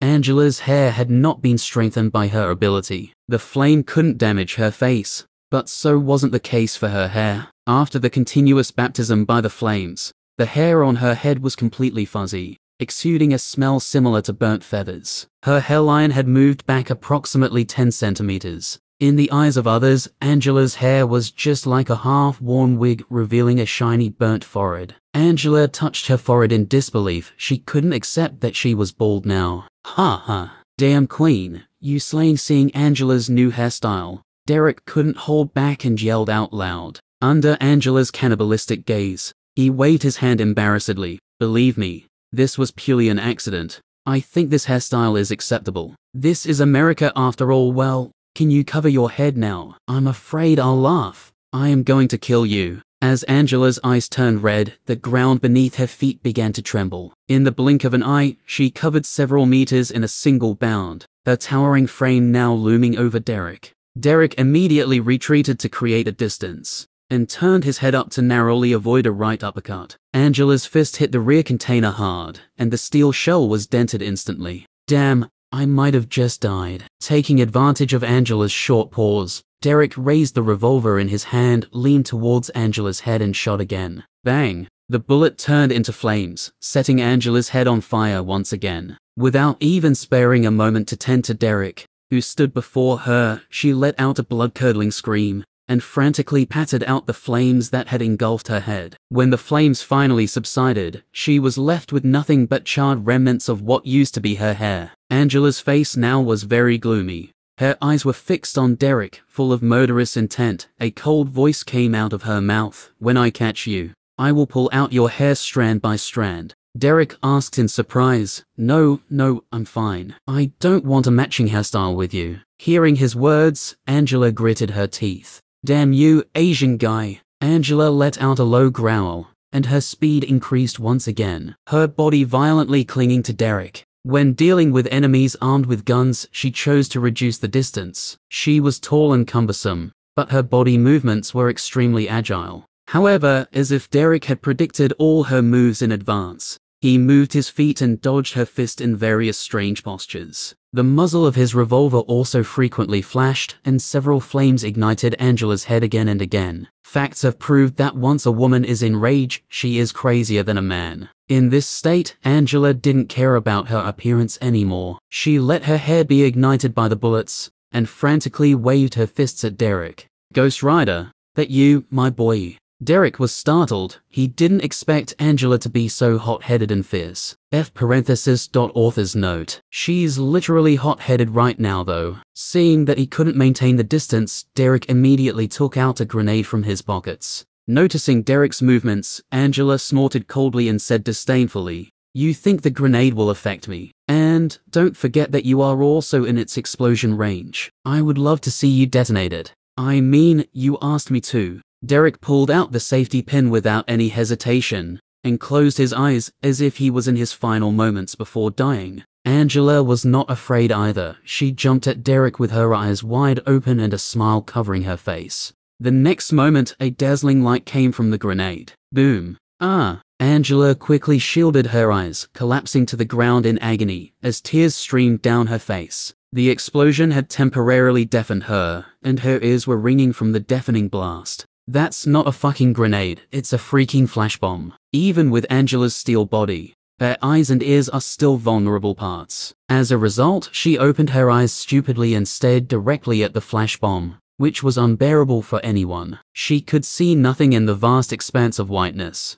At such a close distance, Derek was also affected by the flashbang. His thin eyelids could not block the bright light at all. I am going to kill you, Angela yelled at the top of her lungs. Ah, what are you talking about? I can't hear you, Derek replied. Go to hell. Chapter 40. With Derek's self-healing ability, his body quickly healed the injuries caused by the modified explosive. As his sight gradually recovered, Derek saw Angela standing not far away with an empty head, slapping it vigorously like a madman, and constantly uttering various curses. At the same time, a large number of armed soldiers rushed onto the deck from the stairs. They came to the deck quickly after hearing the explosion. When they saw Angela's state and slapping herself, they couldn't help but freeze in their spots. Immediately afterwards, they saw Derek armed to the teeth and Wade waving katana in the distance. Seeing them, the soldiers knew that these two were the enemies they were going to ambush. The armed soldiers didn't have much time to think about it, and immediately drew their guns and shot at Derek, who was the closest to them. As the bullets hit him, Derek used a sliding shovel to hide behind the container beside him. Noticing him disappearing, the soldiers made two small teams which went towards the container from the two sides, while a large team stood back to kill Derek in case he tried to run away. At this moment, the crisp sound of clanging could be heard from the rear of the container. There was a lot of smoke coming from the container. The smoke gradually spread and finally covered the whole area. After a few moments, there were sounds of footsteps around them. Damn it. He's up there one of the soldiers found Derek above the container. But, it was too late. Derek, who was standing on the container, jumped high in the air and landed in the middle of the soldiers. The explosives in his hands had been replaced with a modified M93R gun. Bullet time. Derek felt his blood pressure rise suddenly, his heart beating violently, and the movements of all armed soldiers became slow. Derek pulled the trigger of the gun in his hand. Bang, bang, bang. Derek's figure constantly swung around in the air, his arms moving rapidly to control the trajectory of the bullet. It seemed like indiscriminate shooting, but each bullet was accurately shot towards the enemy. In less than a few seconds, Derek's magazines were emptied. The magazine was emptied, but the gunfire did not stop. A new magazine was loaded into the pistol through the propeller device in his clothes. Every time the spark flashed from the muzzle, there would be one less standing figure in the smoke. God, what kind of monster is he? The armed soldiers were terrified. This fight was not fair for them at all. Derek didn't care about what they thought, and before the smoke dissipated, made sure no man stood alive anymore. Boom. The last soldier had his head explode and fell backwards. Derek grabbed two pistols and stood quietly atop the pile of corpses. This was what Angela saw when she regained some vision and stopped waving her hands randomly in the air. At this time, she realized that she had been punching her own soldiers, and not Derek this whole while. Fuck. Angela growled with red and swollen eyes. She grabbed a giant tire beside her and threw it at Derek as if it were a discus. Although Derek heard the roar of the violent woman, he had no time to dodge the huge tire bigger than himself, so he hurriedly raised his right arm to block the front. He felt a terrifying force hit his right arm. He was hit by the huge tire and flew into the iron wall more than 10 meters away. Derek spat out a mouthful of blood, his right arm severely twisted and shapeshifting uniquely. I think I might have broken a bone. Angela walked in front of him with her red swollen eyes. Seeing Derek's miserable state, she showed a cheerful smile. You bug, I finally caught you. Do you have any last words? Yes. I want to see some long hair on your head and also, I want to drink this Coke. Derek took out the can of Coke from his trousers pocket, while his arm trembled due to the minor injury. He opened the can with one hand. Go to hell and drink with the devil. Angela smiled cruelly and raised her fist to smash his head. However, the can of Coke in Derek's hand suddenly exploded. It sent out a very familiar and bright light. It looks like a can of Coke, but it's actually another modified explosive. Derek burst into tears, proudly introducing the new variant of Coke. Angela, dot, dot, dot. Despite losing her vision, Angela continued to raise her fist and punch around Derek's location according to her memory. However, Derek had expected this reaction long ago, and he, like a lazy man, rolled to the left and at the same time took out the shotgun that had been hanging on his back. He put his half-recovered arm against the barrel and assumed a standard shooting posture, pulling the trigger in Angela's direction after a lot of effort. Boom. Even with Angela's ability from such a close range, the shooting power of the shotgun still knocked Angela back a few steps, and the pain in her ribs made her groan. Finally broke her defense. Derek's heart skipped a beat, and as his sight recovered, he mercilessly pulled the trigger and shot towards Angela several times. The continuous gunshots made Angela back away. The blind Angela could only be helpless and furious, passively accepting Derek's shooting. She couldn't understand why Derek, who was also affected by the flash, could still shoot so accurately and why he could still use a shotgun with huge amounts of recoil even after his arm was broken. Only Francis, who was fighting with Wade, noticed Derek's rapidly recovering arm. It was even faster than Wade's self-healing ability. Chapter 41 At first, Francis thought that Derek's mutant ability was something related to his unbelievable marksmanship. So, he wanted Angela to deal with him quickly and then control the troublesome Wade. After all, Wade's healing ability was really annoying. Even if the neck was cut with an axe, it would return to normal in some time so, the longer Angela took to deal with Derek, the worse things would get for Francis. But now, he unexpectedly discovered that Derek also possesses self-healing ability, and the speed of his recovery was fast, even faster than Wade's. 2. Self-healing mutants. Francis's expression remained unchanged, but his heart was in turmoil. He wondered, since when did self-healing ability become so common? Looking at the armed soldiers who were almost all killed by Wade, Francis yelled at the beaten down Angela. That Jackie Chan also has self-healing ability. Don't think about killing him, find a way to control that guy. However, Angela, who had been deafened by a coke, only heard a buzzing sound. Mistaking Francis's voice as Derek mocking herself, Angela furiously yelled, Shut up, you puny little bug. Francis. Dot. Dot. Dot. Did I say something wrong? Huh, women. Derek smiled cheerfully. Without interrupting their loving conversation, he reloaded his shotgun leisurely, and then shot at Angela again. Angela was shot many times,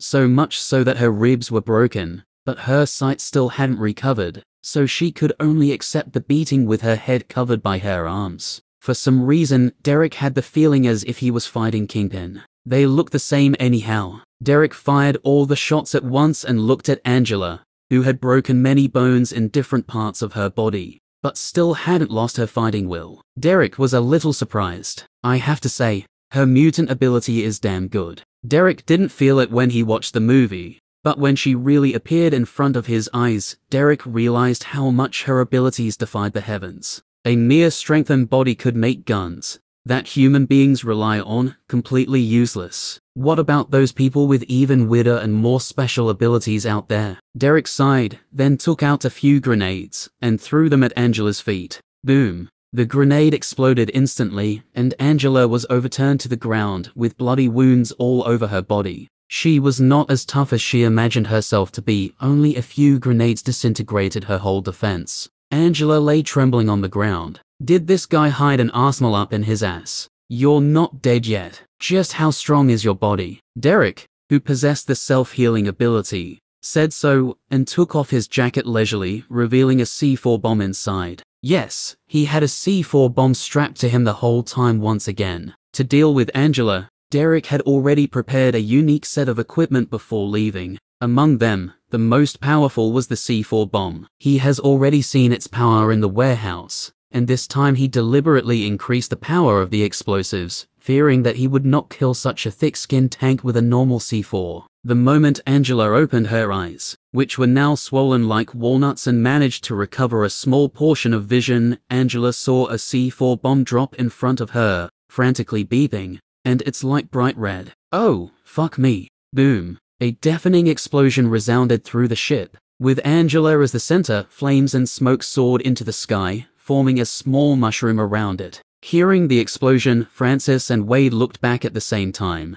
They saw a scorched black corpse fall from the air to the ground, covered with various scars. Then, they saw Derek approaching, looking at the two of them in surprise and said, You're not finished yet. Damn slow bitch. I've finished her. Wade replied, slashing towards Francis with his katana wildly. Damn you, Jude, you're embarrassing me in front of my dish soap friend and Vanessa bro code Jude. Francis's expression twisted as he thought, It's an embarrassment for me to be alive. Bang bang. Two bullets escaped with a spark as Francis was shot in both his legs and fell to the ground. Derek, give me a little more time and I will kill him alone. I don't need your help at all. Wade looked at Derek. You sure? Derek pointed to Vanessa, who was watching the show, hanging on the ship all the while. After your girlfriend finds out about you, and remembers that you didn't save her, but focused on fighting with a man, what do you think will happen? Oh damn, fuck me. F parenthesis dot author's note. Um, not a bad choice I mean, it's Ryan Reynolds, not my fault. Wade threw away his katanas and ran towards Vanessa with brisk steps. Vanessa, wait for me,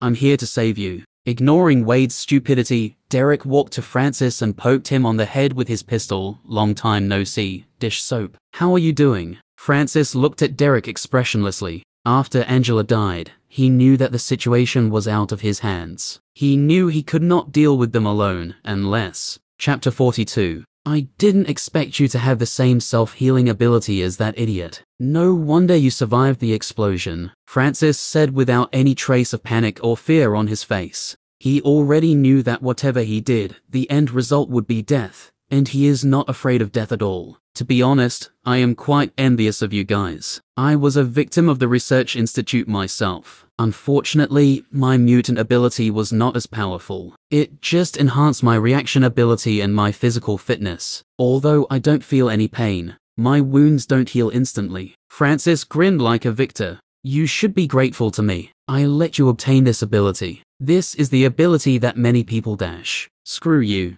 You piece of shit. Derek slammed the butt of the gun on Francis's head and said fiercely, I, Derek, became strong by my own efforts. I did not require any external help from you. I'm just better.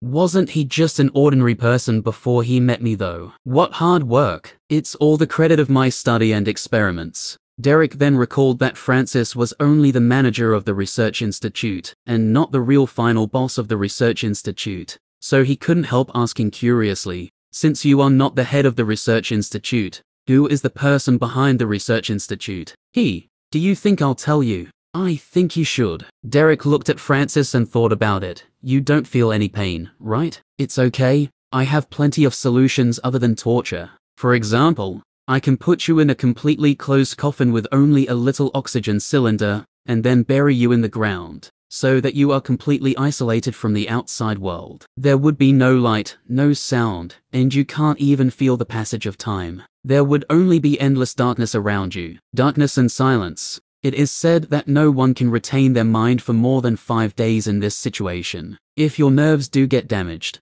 I'll find a mutant who can repair your nerves then. Then, I can do whatever I want. Hum, I'll start with making you do a 360 degree split. The more Derek talked, the more excited he got. In the end, he rubbed his palms together as if eager to try the split. The threat did work for Francis this time, though. He felt that if he didn't answer Derek, with his honorable and gentlemanlike personality, he would definitely complete his promise, and do this kind of thing maybe, with some improvisation too. I only know that I work for a company named Essex, and I am responsible for managing the operations of several research institute branches. And regarding the higher ups of the company, I don't have any idea, Francis said. He anyways only worked for the money, and had no sense of loyalty to the people above him. Essex. Derek pondered. If he remembers correctly, this company has appeared in several mutant movies. It was a company that collected mutant genes. Among their collection, they have Wolverine's genes, and the Wolverine's clone was the product they created using them. Generally speaking, they could be regarded as a villain organization. So, the story here involves mutants and their genes A. F parenthesis dot author's note. No shit, Sherlock. Derek didn't care about the events anymore. After all, he was not a mutant, his abilities were all given to him by his titles, and have nothing to do with the mutant ability at all. By the way, the serum you injected me back then needed adrenaline as a catalyst, right? Derek asked and Francis nodded silently. Derek was thoughtful. It seemed that the serum had no effect on him as a traverser. There was no measure of how much adrenaline his body had secreted every time he entered bullet time. If the serum had to affect him, it would have already. At this time, Wade came over to Wade and his girlfriend Vanessa. Seeing that Wade had taken off his mask, Derek knew that he had confessed to Vanessa, and now he probably wanted Francis to restore his disfigured face. But Derek knew this was impossible. Derek threw Francis over to Wade and said, I'll leave this guy to you. I'll pick up the equipment that can still be used. I'm running out of them. Seeing that there were still tons of grenades and magazines hanging on Derek's body, Wade was a bit lost. This wasn't exactly running out. Ten minutes later, Derek came back dragging a lot of guns and ammunition. He had also found a motorcycle on his way. He then saw Francis's body lying on the ground with a bloody hole in his forehead. Oh, well, don't it almost nice though. Motherfucker. This shit can't fix my face. Wade yelled angrily as if he didn't feel satisfied. He raised his foot and kicked Francis's body. During this long period, he was frantically looking for Francis, just to heal his face. But after working so hard for so long, he got a sentence. I cannot do it. With his temper, he shot Francis without any delay. F parenthesis dot author's note. What if he wasn't done and had one more sentence? Derek patted him on the shoulder and comforted Wade. Think about it. Although you are a little ugly, at least you aren't dying from cancer now. Or, do you want to visit another research institute? Wade. Dot. Dot. Dot. Vanessa. Dot. Dot. Dot. Vanessa glanced at Wade.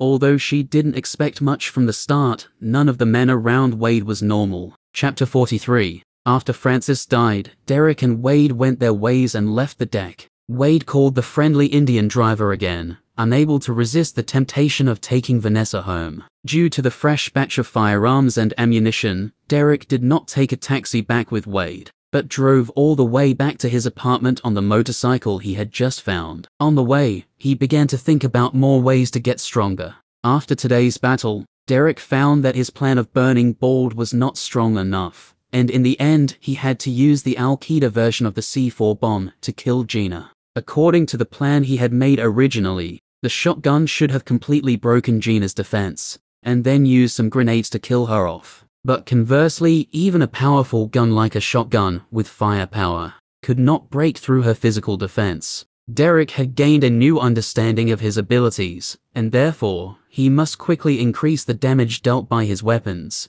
and he should at least buy a bazooka. Sun Tzu said the right thing. The only answer to violence in this world has always been more violence. F parenthesis dot author's note. Sun Tzu. Bitch, when did I say that? Derek has always been a reasonable person, a preacher of truth, and he hopes that his enemies can understand this truth. I came to my senses, and I realized that I could and should contribute more to the world, other than making weapons. So, I declare that the Stark Industries Weapons Division, effective immediately, will shut down until I find new goals for the company and other directions that I feel are right, which also lie in the best interests of the nation and. On the TV screen of a bar, a man with a beard stood on the stage whilst giving a speech. This person was the CEO of Stark Industries, Anthony Edward Stark. The stock of Stark Industries had plummeted since Tony Stark disappeared, and most people assumed that he died in Afghanistan. As a result of that assumption, they never expected that Tony Stark would appear in everyone's field of vision again. While Tony Stark disappeared and reappeared, Stark Industries' main profit was from the arms business.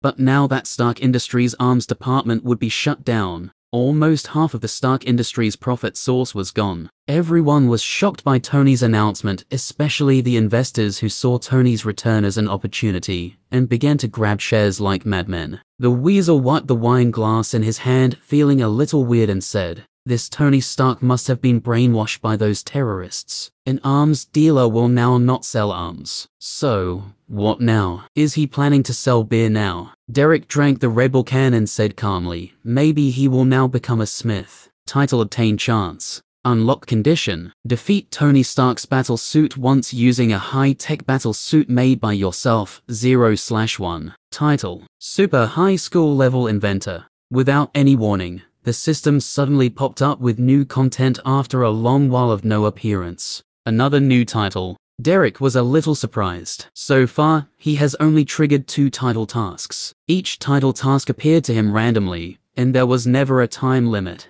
Now, it was the third time he had triggered the title obtaining mission without wishing for it. However, when Derek saw the content of the obtainment task clearly, he almost sprayed the Red Bull on the weasel's face. Excuse me, what in the actual fuck? Beat Stark's battle suit with one built by yourself. Are you sure you are not kidding me? Derek was dumbfounded. This was the first time that the mission was directly related to one single person. Even more outrageous was the task's fulfillment condition. You want me to defeat the Tony Stark? He's a freaking godlike person of this Marvel universe. A Batman who is always ready. He doesn't need preparation time because he is always fucking prepared. Derek estimated that the cost of a single Iron Man suit made by Tony Stark was at least hundreds of millions of United States dollars. This is clearly him burning his money. With the help of his position as one of the richest people in the world, Tony Stark had dozens of armor. Others played with drones, but no one was able to make a perfect suit. Tony Stark, he tweaks his high-tech battle suit,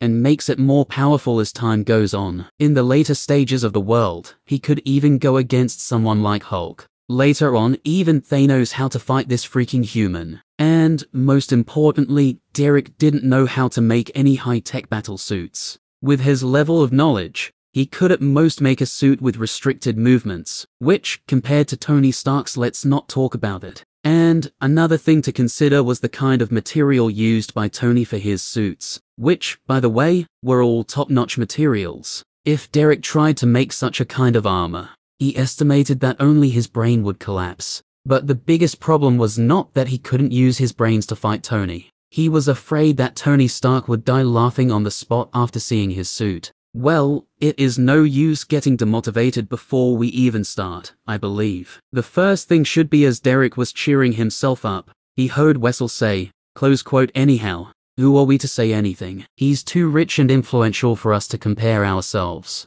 This son of a. Chapter 44. For the first two title tasks he had come across, Derek felt that he could at least see a possibility of completing them. But for this new task, Derek couldn't think of any method to get it done. Among other things, with Tony Stark's identity and background, Derek really couldn't just barge into his house and go see 4 Boom Boom casually. Fortunately, the task was not mandatory or time limited. He had a lot of time to figure out a solution. Compared to this, Derek had a problem that needed urgent solving. He didn't have any money in his pockets. After buying a large number of firearms and ammunition, Derek's bank balance was nearing zero. He only had enough money to go on with his normal life for a few days, but it was completely impossible for him to buy any kind of weapons. Derek looked at Weasel and asked, Is there any high paying commission recently? I am in an urgent need of money. Derek asked straight for the highest paying commission. He knew how good his skills were now. He did not need to be a mere meat shield anymore. His shooting technique was perfect for assassination, just like the perfect assassination he performed a few days ago. The police could neither find any traces of him nor any witness. After all, dead people could not be witnesses. Weasel nodded. He now had a general understanding of Derek's skills, and didn't say anything about the difficulty of the commission. Yes, but those high-paying commissions are first of all, not simple assassinations relating to a single person. They are on a different level, like the extermination of Mexican drug cartels. If you want to do it, the location is Oaxaca in Mexico. In Colorado, there should be more commissions like this one. You might even find some Area 51 invasion missions there. Nah, tell me something closer, preferably within New York. Derek resolutely vetoed it. He did not intend to travel so far just to complete a single commission. In New York, there are a few high paying commissions Weasel thought for a while, and then finally spoke. But, that commission is on your head. But, good news, the reward is now down to 4 million. Derek was a little surprised. Could it be that the gangsters figured out my identity? Weasel scoffed and then explained the reward was high because your identity was not known, but now the reward has been lowered because your accomplice was caught. You mean the Punisher was caught? Derek frowned. His accomplice was Frank, and he shouldn't have gotten caught so easily. Yes, what a poor guy. People who mess with gangs usually end up miserably. If I fell into the hands of those crazy gangsters, I would definitely commit suicide rather than bear the torture. Speaking of this, Weasel looked at Derek worriedly. You have to be careful, maybe your information has already been revealed to the gangsters by that Punisher. I hope you were not idiot enough to reveal your address. And if you did, I beg you, move out as soon as possible, and move to Wade's place. Weasel didn't want the apartment to be bumped by gangsters who came to find Derek. Who's going to live with me? A frivolous voice came and Wade, wearing a mask, came over and sat down beside Derek. I warn you, don't even think about it. No one can disturb my peaceful, cozy life with Vanessa except the IRS. Weasel said sarcastically, Oh, look who is here, America's most handsome boyfriend Wade Wilson. I thought you would hold Vanessa all the time now. What are you doing here? Derek was also surprised to see Wade coming. Since Wade and Vanessa got back together, the long lost couple were together every day, and even his friends hardly saw Wade these days. That's what I thought too. But there's one thing scarier than the IRS coming to you,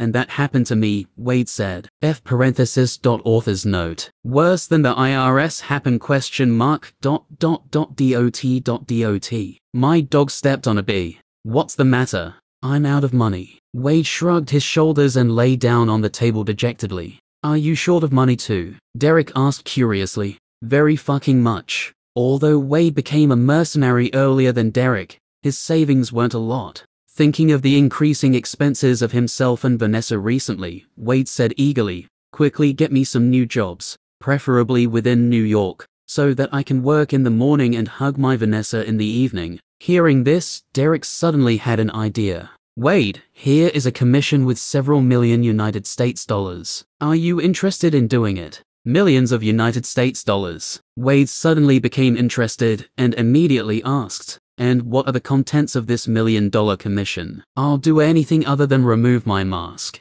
It's simple. You have to just catch a guy and hand him over to a gang and get paid millions of dollars. There is such a good commission. Wade asked impatiently, who is the target and where is he in New York? Who am I going to catch and barter for millions? Don't worry, there is no difficulty in this commission. Moreover, you also know the target closely, and the distance is almost nothing. I know them. Who is it? I, your bedmate. Derek gulped down another Red Bull at once, and showed a bright smile on his face. Let's do it. I won't resist at all, but the share will be 50-50. Chapter 45. Above the pitch black sky, Gloomy black clouds blocked the moonlight, casting an eerie shadow over the desolate landscape below. The darkness seemed to be alive, creeping slowly and enveloping everything in its path. The dazzling lights of the city in the distance shone like a beacon in the pitch black night sky, casting an otherworldly glow over the lifeless West Midtown. The stark contrast between the two was like a boundary line between the living and the dead, separated only by the Hudson River.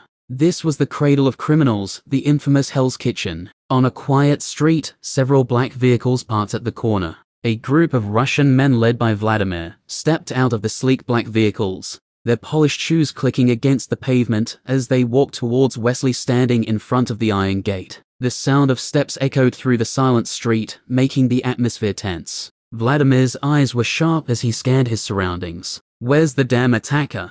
Please don't worry. Since you agreed to a future assistance, what my employer promised to you would naturally be completed. Wesley smiled. Immediately afterwards, he nodded to the black-clothed bodyguards standing behind him. The bodyguards turned around and quickly opened the large iron gate behind them. The heavy iron gate was pushed open with a light thud in the end as a faint smell of blood rushed over. The space inside the establishment was very small. It was surrounded by iron walls, and in the center was a burly man. Vladimir saw that the man's hands and feet were tied with iron chains. His body and clothes were covered in red blood, as if he had just been fished out of a vampire's lunch bowl. Judging from his wounds, these bloodstains should not all belong to him, Vladimir said to himself as he finished observing the man. Seeing this man, Wesley couldn't help sighing. This is the famous Punisher. We spent a lot of effort to lure him out and catch him. Even so, we have lost a lot here. But please rest assured, according to our agreement, he is yours, so we didn't torture him at all. Vladimir did not reply, but stared hard at Frank sitting in front of him. Previously, the Russian Ross gang also sent out a large number of men to catch him. The result? They encountered various obstacles every time they acted, and Frank always managed to slip away in the end. Vladimir, being not a fool, knew that someone was trying to stop him from catching Frank. Under pressure, Vladimir had finally agreed to Wesley's suggestion, giving up Anatoly's former territory and handing it over to them while they assisted in the operation. It wasn't long after his agreement that Vladimir received a call saying that Frank had been caught. Vladimir walked up to Frank, pulled his face up with his hair and asked coldly, You killed Anatoly. Frank looked up at Vladimir calmly. He recognized Vladimir, the leader of the Russian Ross gang. Curling his lips in disdain, Frank definitely knew who the murderer of Anatoly was. But he didn't care about it. Now, he didn't bother if the blame fell on him or not, he just mocked Vladimir. I killed a lot of cunts, and they were all guilty. Which one are you talking about? Anatoly. Might have met him. Enraged, Vladimir punched through. The veins in Vladimir's neck bulged as he grabbed Frank's collar. I know you have a companion. Tell me where he is. Frank spat saliva and put on a mocking expression. The result was that Vladimir beat up Frank violently, and Frank didn't even squeak during the whole process. After beating Frank to a mess, Vladimir snarled, Tell me who that damn companion is, and what his name is. If you don't, I swear on my life that you will die a terrible death. Frank opened his swollen blue eyes, calmly watching Vladimir roaring at him helplessly. Frank was a trained soldier. He was not afraid of any kind of cruel torture. Since he and Derek had only met once, this was not to protect him, but Frank just wanted to see the anger of these gangsters. So, to enjoy it more, he did not reveal the slightest bit of information about Derek. Frank said in a hoarse voice, You're not going to find him ever, I think. Vladimir punched him again. Seeing that Frank was so stubborn, Vladimir turned to Wesley angrily. Tell me, where is the other bastard who was with him? We're currently investigating that, Wesley said as he pushed back his glasses. However, according to their plan, once they find the second attacker, they will find someone to silence him directly rather than leaving this to Vladimir. It's just that Vladimir also lost a big part of his territory. How could he listen to such nonsense? Vladimir raised his blood-stained palm and grabbed Wesley's collar unceremoniously.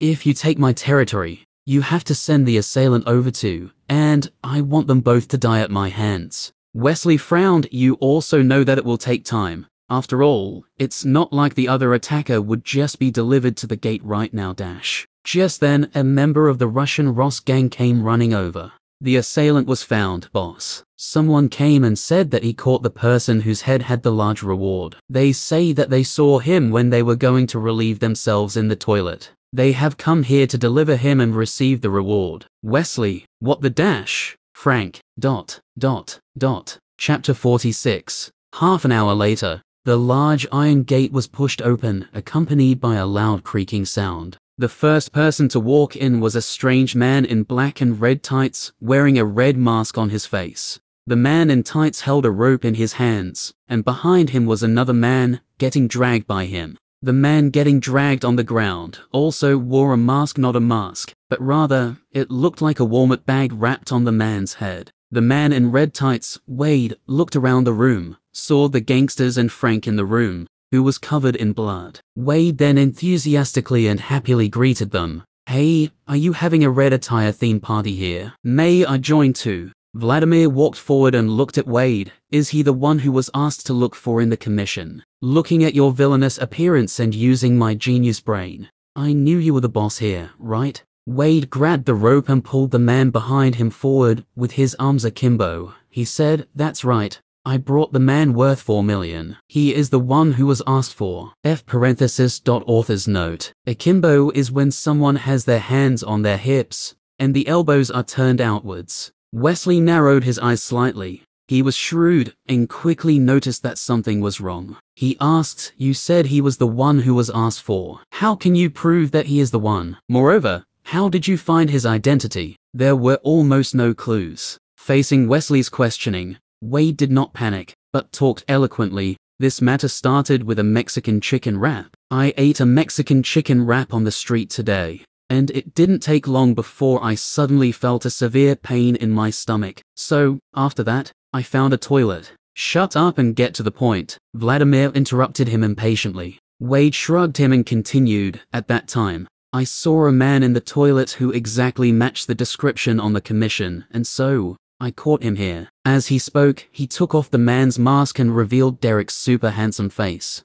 The expressions of Vladimir and Wesley froze instantly. They remembered the description of the other attacker on the bounty, which seemed to be only one simple word. Asian, likely Jackie Chan. Looking at Derek's face again, it really fit the description perfectly, but Vladimir's complexion was very bad, and now he seriously suspected that the man who was tied up was a passer-by that the man in tights randomly grabbed while going to the toilet. He said in a rude tone, I need some better proof. If you can't prove this guy's identity as the assailant, I will believe it that you are mocking me, and you will die a death worse than you can imagine. Oh, calm down please. I definitely can prove that he is the one. How will you prove it? Wesley continued to question Wade. If the person in front of him was a faker, he could expose their identities on the spot. If this person was the real one, even so, he must be identified as a fake. Wesley could not let the real attacker fall into Vladimir's hands. Wade poked Derek's waist with his fingers and made a fierce expression on his face regardless of whether others could see his face under the mask. He asked him, quickly tell me, are you really the one who had his name written on the bounty? Quote,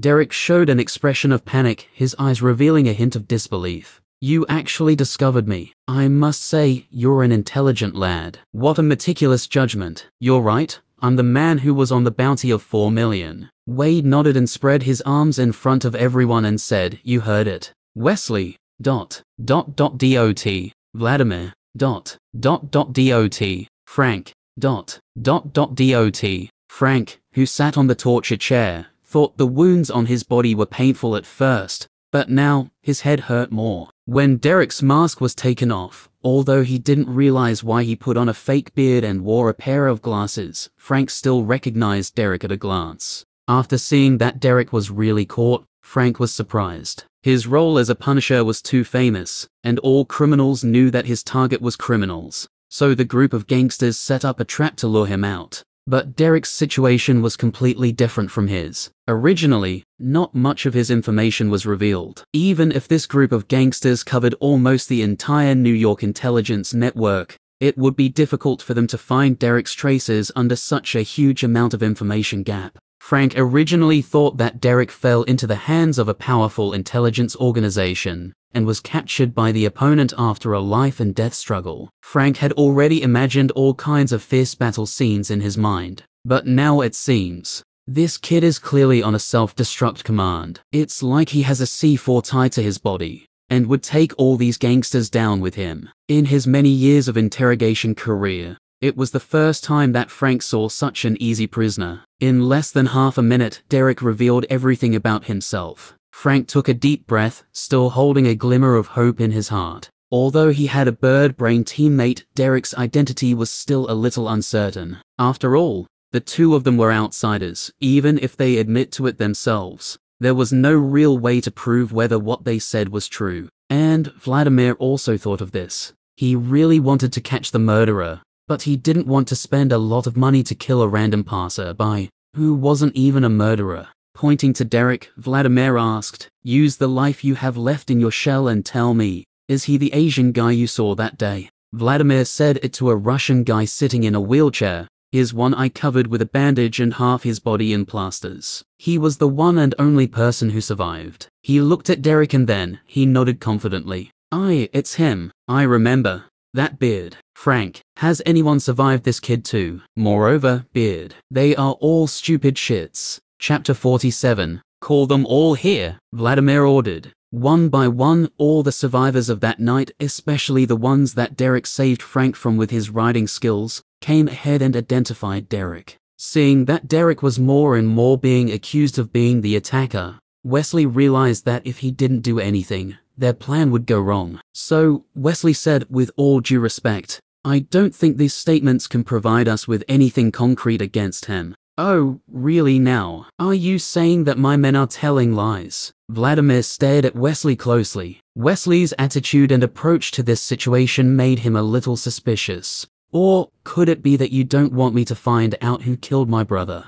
That's definitely not it. You may have misunderstood me. Regarding the situation that night, I just don't want to rule out the possibility that your men might recognize wrong. I just want it all to be 100% confirmed. After all, my employer also has to pay a fat bounty. Wesley explained calmly. I'm not mistaken. He's the Asian guy. I remember that black beard. The Russian men tried to explain that there was nothing wrong with his eyes and memories. Frank, meanwhile, was silent all this while. He didn't know what to say. He was in the same situation as Matt a few days ago. Being a smart man was trouble when sitting where he was. I won't claim that my memory is the best, but Beard. Are you for real? Vladimir said coldly. Then how do you want his identity to be proved? I heard that you lost a lot of people that night, and most of them were taken care of by the Asian attacker. From that we know that the Asian guy is for sure very skilled. Wesley smiled confidently and turned to look at Derek.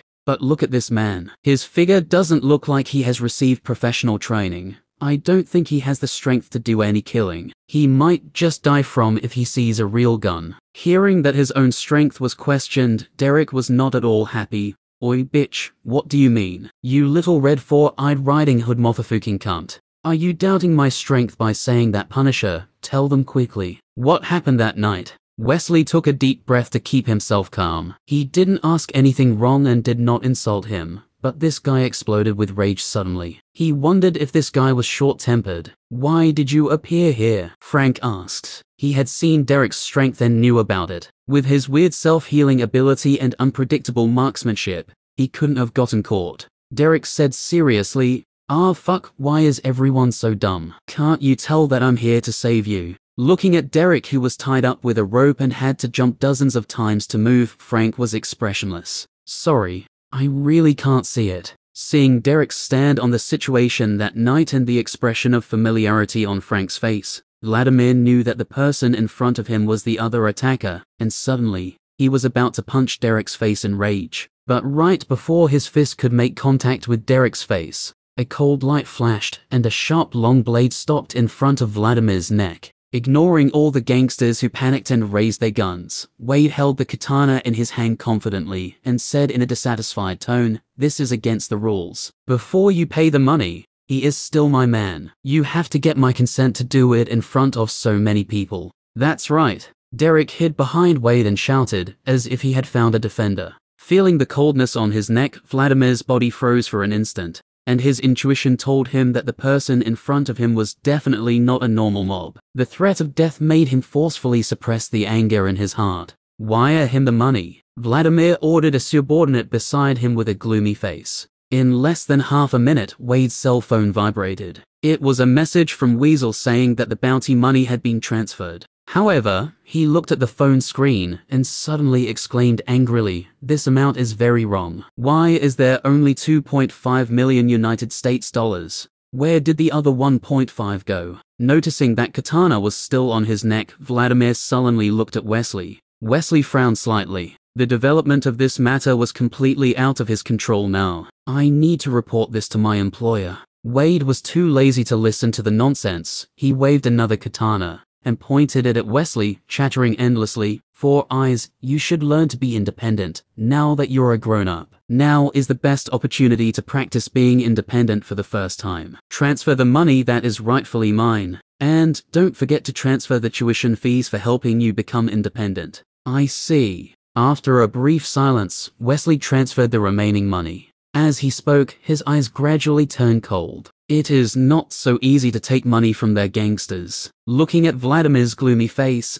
It was obvious that he did not intend to let Wade go. After he heard so many things here that should not have been heard, how could they let him be? However, the bounty that should have been paid still needs to get paid. After all, it is a bounty issued by them publicly. Swallowing the bounty would only affect their reputation. No one would be willing to cooperate with them in the future. This is good boy. Well, you are now his person. The mobile phone received another money transfer notification as Wade put away his katanas in satisfaction, while letting go of the rope and pushed Derek over. Vladimir frowned. Wesley immediately sensed something was wrong. He stepped back a few steps and said in surprise, shoot them right now. However, Derek moved faster than them. Two pistols suddenly appeared in his lowered hands, and his pupils suddenly contracted. Bang! The sound of the gunshots were not loud. All the gangsters and bodyguards in the house fell to the ground. Blood flowed from the holes on their foreheads. And the other remnants who were waiting outside the door rushed into the house when they heard the gunshots but were wiped out by Wade. Within a few seconds, all the gangsters were wiped out, only Vladimir and Wesley remained alive in the large room. Oh, Frank 2, Chapter 48. Within moments, the room was turned into a morgue full of corpses, the smell of blood permeating through the air. No gang members other than Wesley and Vladimir were left alive. Under the dim light, the bloodstains on the ground reflected a sharp scarlet light. Seeing that the people they brought were wiped out immediately, Vladimir and Wesley's complexions turned pale. When Wade killed several intruders, the two understood that they were together. It's not that they didn't think about this possibility at first, but when they saw that there were only two people on the other side, they relaxed their vigilance. They never thought that only two people could kill all of them in such a short period of time. Jude, you are such a genius. You have earned us 4 million United States dollars. This is much easier than when I ran around the world to make money. Wade pushed Katana back into its sheath on his back and looked at the phone happily. He and Derek split the bounty 50-50. This huge sum of money is enough for Derek and Wade to be cool for a long time. Derek patted his head suddenly. They were sloppy. If I knew it would be so easy, I would have caught the Punisher together to claim the bounty. Then we could earn at least 1.5 million United States dollars more each. What a bloody loss. Frank, dot, dot, dot. By the way, untie him first. Derek seemed to have just remembered the existence of Frank and was about to untie him, only to find that there was still a lock on the iron chain binding him. Where's the key to the lock? On him. Frank glanced at Wesley.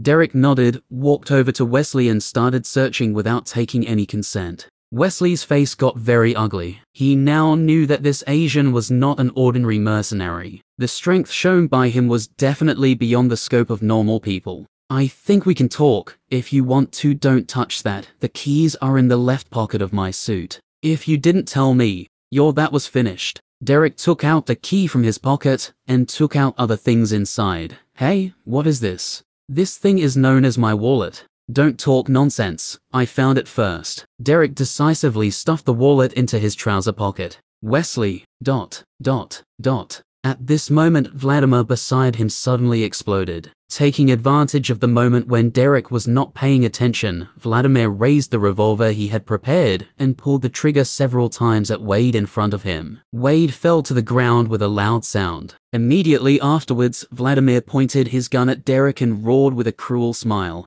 Damn Asian, you are dead. Facing the black muzzle of the gun, Derek smiled confidently. I counted it, and your bullets have been exhausted. I bet you have no bullets in your gun. Bang. Derek smiled at Vladimir, tilted his head and slowly fell to the ground. Ha ha ha ha, you idiot. I still had a bullet in my gun. Looking at the two corpses on the ground, Vladimir suddenly had a sense of accomplishment of winning against the wind, and laughed wantonly. F parenthesis dot author's note. Alright, I had no problem editing names from Jayaquin to Vladimir, but here Vladimir was straight up given as Vladimirton. This situation was now completely reversed, and Wesley was both surprised and happy. But soon, these emotions all turned into fear, because he saw that the two corpses moved by themselves. Contrary to the terrified Wesley, Frank's expression was much better. He saw the man in tights, who had been shot several times, stand up again. Obviously, he had the same self-healing ability as Derek. What the hell? Is this kind of ability available wholesale? How can everyone come back from the dead? Frank saw Derek sit up abruptly.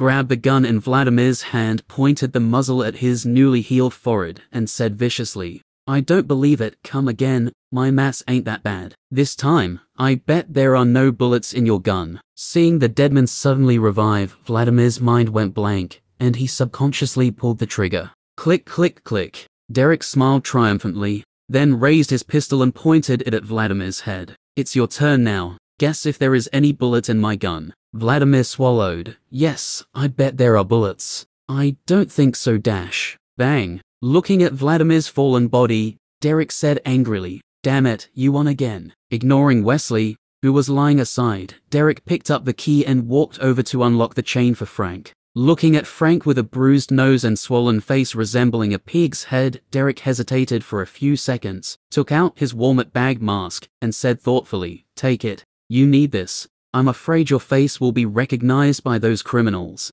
and they will not be able to help but laugh when they see you in the future. After all, since Frank is a brutal and iron-blooded tough guy, which was very dependent on his image, walking around with a funny face would be bad. Frank looked down at the plastic bag with two small holes poked in it, and a meat discount sticker on the back. Frank kept a straight face and didn't accept the plastic bag. He would rather wear this pig's face than wear this vile mask. If I walk around with that sticker on my back, I won't exactly be safe. Chapter 49 Vladimir is now dead. Wesley's plans were completely disrupted. To make the matter worse, he had now fallen into the hands of the two weirdos. Wait, I think we can talk things out. Wesley couldn't help but say, he felt that if he waited any longer, it would be too late. He had to be in control of the situation. Derek's eyes lit up as he asked, You want to negotiate? If yes, you are very welcome to do so. I like negotiating a lot. So, how much is your life worth? Are you going to pay a few hundred million for it?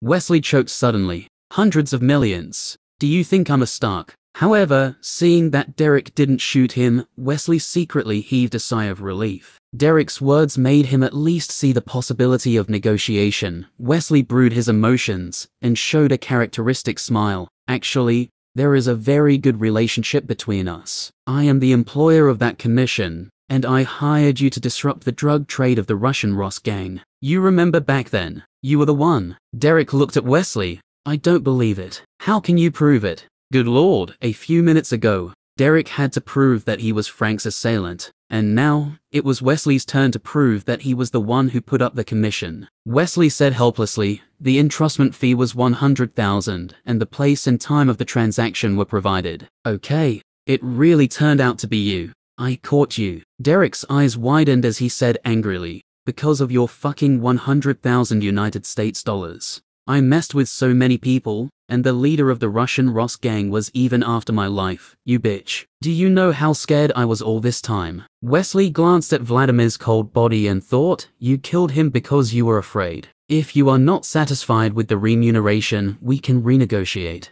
How much? Wesley tentatively said, I will pay you three times. Only that much. Punisher, this poor guy with no money will be handed over to you. Derek curled his lips in disdain. Now that he has 2 million United States dollars, he puts his pride above money. Hearing Derek's words, Frank, who was covered in blood, picked up a gun on the ground, walked slowly to Wesley, and said in a cold voice like a demon crawling out of hell, anyone who is guilty shall be punished. Five five times. Five times the pay. Oh, Derek suddenly held down the gun in Frank's hand and stopped his next move. If he didn't hold it down, Frank would have definitely shot down Wesley. Frank tried to raise the pistol again, but found that Derek used a bit too much force. He looked at Derek expressionlessly. Are you going to let him go? I'm not sure. It all depends on him. Derek looked at Wesley with a smile. Five times the reward is still a bit low. Let's make it ten times the reward and make it a good and lucky number, right? It rose ten times directly, and Wesley wanted to cry without tears. I isn't this too much? Frank, boy, kill him. Frank raised his pistol again indifferently. Anyone who is Dash. I agree. Ten times the reward. Oh. Frank took a deep breath. He decided not to say any lines next time, just do it at once. Seeing that another 1 million United States dollars came in, Wade almost drooled. Jude, I know you are the best person. There must be my share in it, right? Derek said indifferently. I think you know wrong things then. He is an unscrupulous employer who embezzled the employees' money. This is the remuneration I deserve. What does it have to do with you? Oh, exclamation point. Wade covered his cheeks exaggeratedly, as if he couldn't believe his teammates suddenly said such words. After a few seconds of delay, he pointed at Derek with trembling fingers. Hey, are you sure you want to take the money all by yourself? It's all mine, it's mine. Damn it, you forced me. Wade roared, then looked at Wesley, transfer 1 million United States dollars to me, and I will help you get rid of this money-seeking bastard. Plus, I'll make sure you are alive. Wesley blinked in confusion. Was there suddenly an internal strife? Frank glanced at Wade. He didn't let go of the finger holding the trigger. Once Wade made a move, he would immediately shoot and finish the opponent. You're going to betray me for this little money. Derek looked at Wade in disbelief. It was you who betrayed me first. Wade pulled out two katanas with a very firm attitude and asked Wesley, four eyes, tell me soon, you don't have much time. Seeing that Derek and Wade had a real dispute, Wesley was instantly ecstatic. This result couldn't be better. Only when the two fight with each other could he have a chance to escape. Wesley nodded without hesitation. Just when Wesley was expecting the two to fight, Derek suddenly pointed the gun at his head and said angrily, Okay, you guys are so bitchy that you would actually split our team. Let me tell you this once, four eyes, this time, without 15 times the remuneration.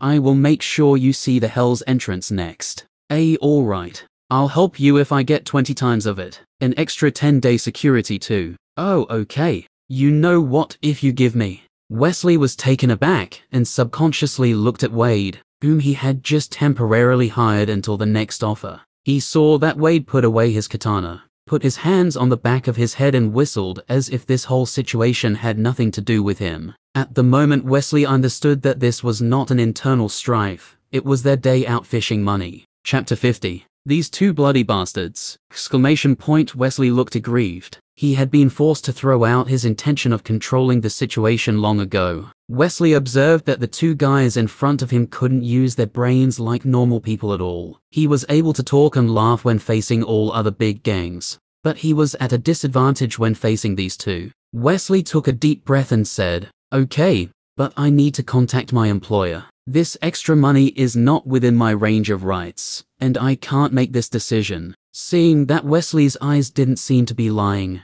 Derek waved his hand. Oh, sure, but remember not to talk any other nonsense. Wesley silently took out a mobile phone from his suit and quickly dialed the number. He said a few words into the phone and only briefly explained the current situation. Under the gazes of two immortals and the Punisher, he didn't try to be a smart shit and reveal some information about any of them. After getting a reply from his employer, Wesley handed the phone to Derek. My employer wants to speak to you. Derek took the phone and greeted warmly. Hello, you must be the famous Wilson Fisk Archer Willie. Hello, Mr. Mercenary. A steady voice came from the other end of the phone. It's a pity that we talk in this way, but it seems that there are some unnecessary misunderstandings between us but I think this is a good opportunity for us to start our relationship anew. Unexpectedly for Derek, the underworld boss did not have the rude tone that he had expected him to have. His tone was slow and calm, completely unhurried, as if he could do this all day. Although I really want to cooperate with you and be friendly, but I'm in a hurry. Derek didn't intend to continue chatting with Kingpin and said bluntly 20 times the reward. If you wire me the money, I will let him go. If you don't, it's pretty obvious, I believe. I'll pay you 50 times as much. Kingpin said calmly, according to the previous procedures. Now I can transfer 2 million to your account, and after Wesley arrives at a safe place, I can transfer another 3 million. As long as you let Wesley go, you can get a total of 5 million United States dollars. And I will not count the previous bounties. What do you think of this deal? FK, Kingpin's sudden throwing of coins, made Derek a little confused. Hearing that there was no sound from the phone, Jing continued, You helped me get rid of Vladimir. I am very grateful to you. This is the reward you deserve. As I said, there are only some differences between us, and I want to correct them. Derek looked at the corpses of bodyguards all over the floor, nodded and said, Indeed. The actual conflict, the meaning of this sentence is a bit ambiguous. Kingpin secretly wanted to silence Derek, but Derek secretly almost killed Wesley, his right-hand man. However, since this had not happened, there was indeed no real conflict between them. As for the bodyguards, the world is cruel. Compared to this, Kingpin is more interested in Derek, although he does not know what happened for the time being. Judging from the results of the two battles Derek had participated in, it was obvious that the mercenary he hired was not a human. Kingpin then said with great interest, besides, I very much hope to reach a long-term cooperative relationship with someone with an ability like yours. If you are willing to serve me, I will give you a hefty compensation. During the speech, Kingpin did not lose his show of sincerity and politeness. Putting away distracting thoughts, Derek said cheerfully, Sugar Dar Dash Arno, Boss Kingpin, I've already felt your sincerity, but I'm not interested in being your subordinate. As for the remuneration you mentioned, I will reluctantly accept it. As Kingpin said, they just had some misunderstandings. Since Kingpin was so sincere and actively wanted to eliminate the misunderstanding, Derek was completely willing to accept it. I'm not a superhero, so this world can burn for all I care. Hearing Derek's refusal, Kingpin didn't bother dragging the matter and said, It's a pleasant cooperation, and I hope there will be opportunities to cooperate in the future. Yes, sir. After finishing speaking, Derek hung up the phone. After a while, he received the transfer notice. Kingpin's wiring speed was pretty fast. Derek looked at Wesley. Oi, Four Eyes, your boss has already paid the ransom. You can leave now. My name is Wesley. Okay, Four Eyes, I mean, let's go, Four Eyes Wesley. Wesley didn't dare to correct him and walked towards the iron gate. He didn't want to stay in this place for a second more. Looking at Wesley's back, Wade suddenly put forward his own idea. Oh, Jude, why don't we follow this four-eyed boy secretly? And when he leaves a certain distance, we put a sack on his back and tie him back, so that we can get more money again. No, I am a man of my words. Derek refused righteously, and then said in a low voice, check it out first, wait for Kingpin, and if he isn't here, we will find a way to tie him back, or maybe you know what, let's just do it. You are right. Huh. Wesley, who hadn't left the structure yet, felt a chill run down his spine. He felt that there were two sets of malicious eyes staring at him from behind. He quickened his pace and left the room in embarrassment, almost running. Thanks for listening to The Immortal in Marvel. This is the end of this video. Hope you enjoyed. Have a wonderful day. TheSilentRuptor out.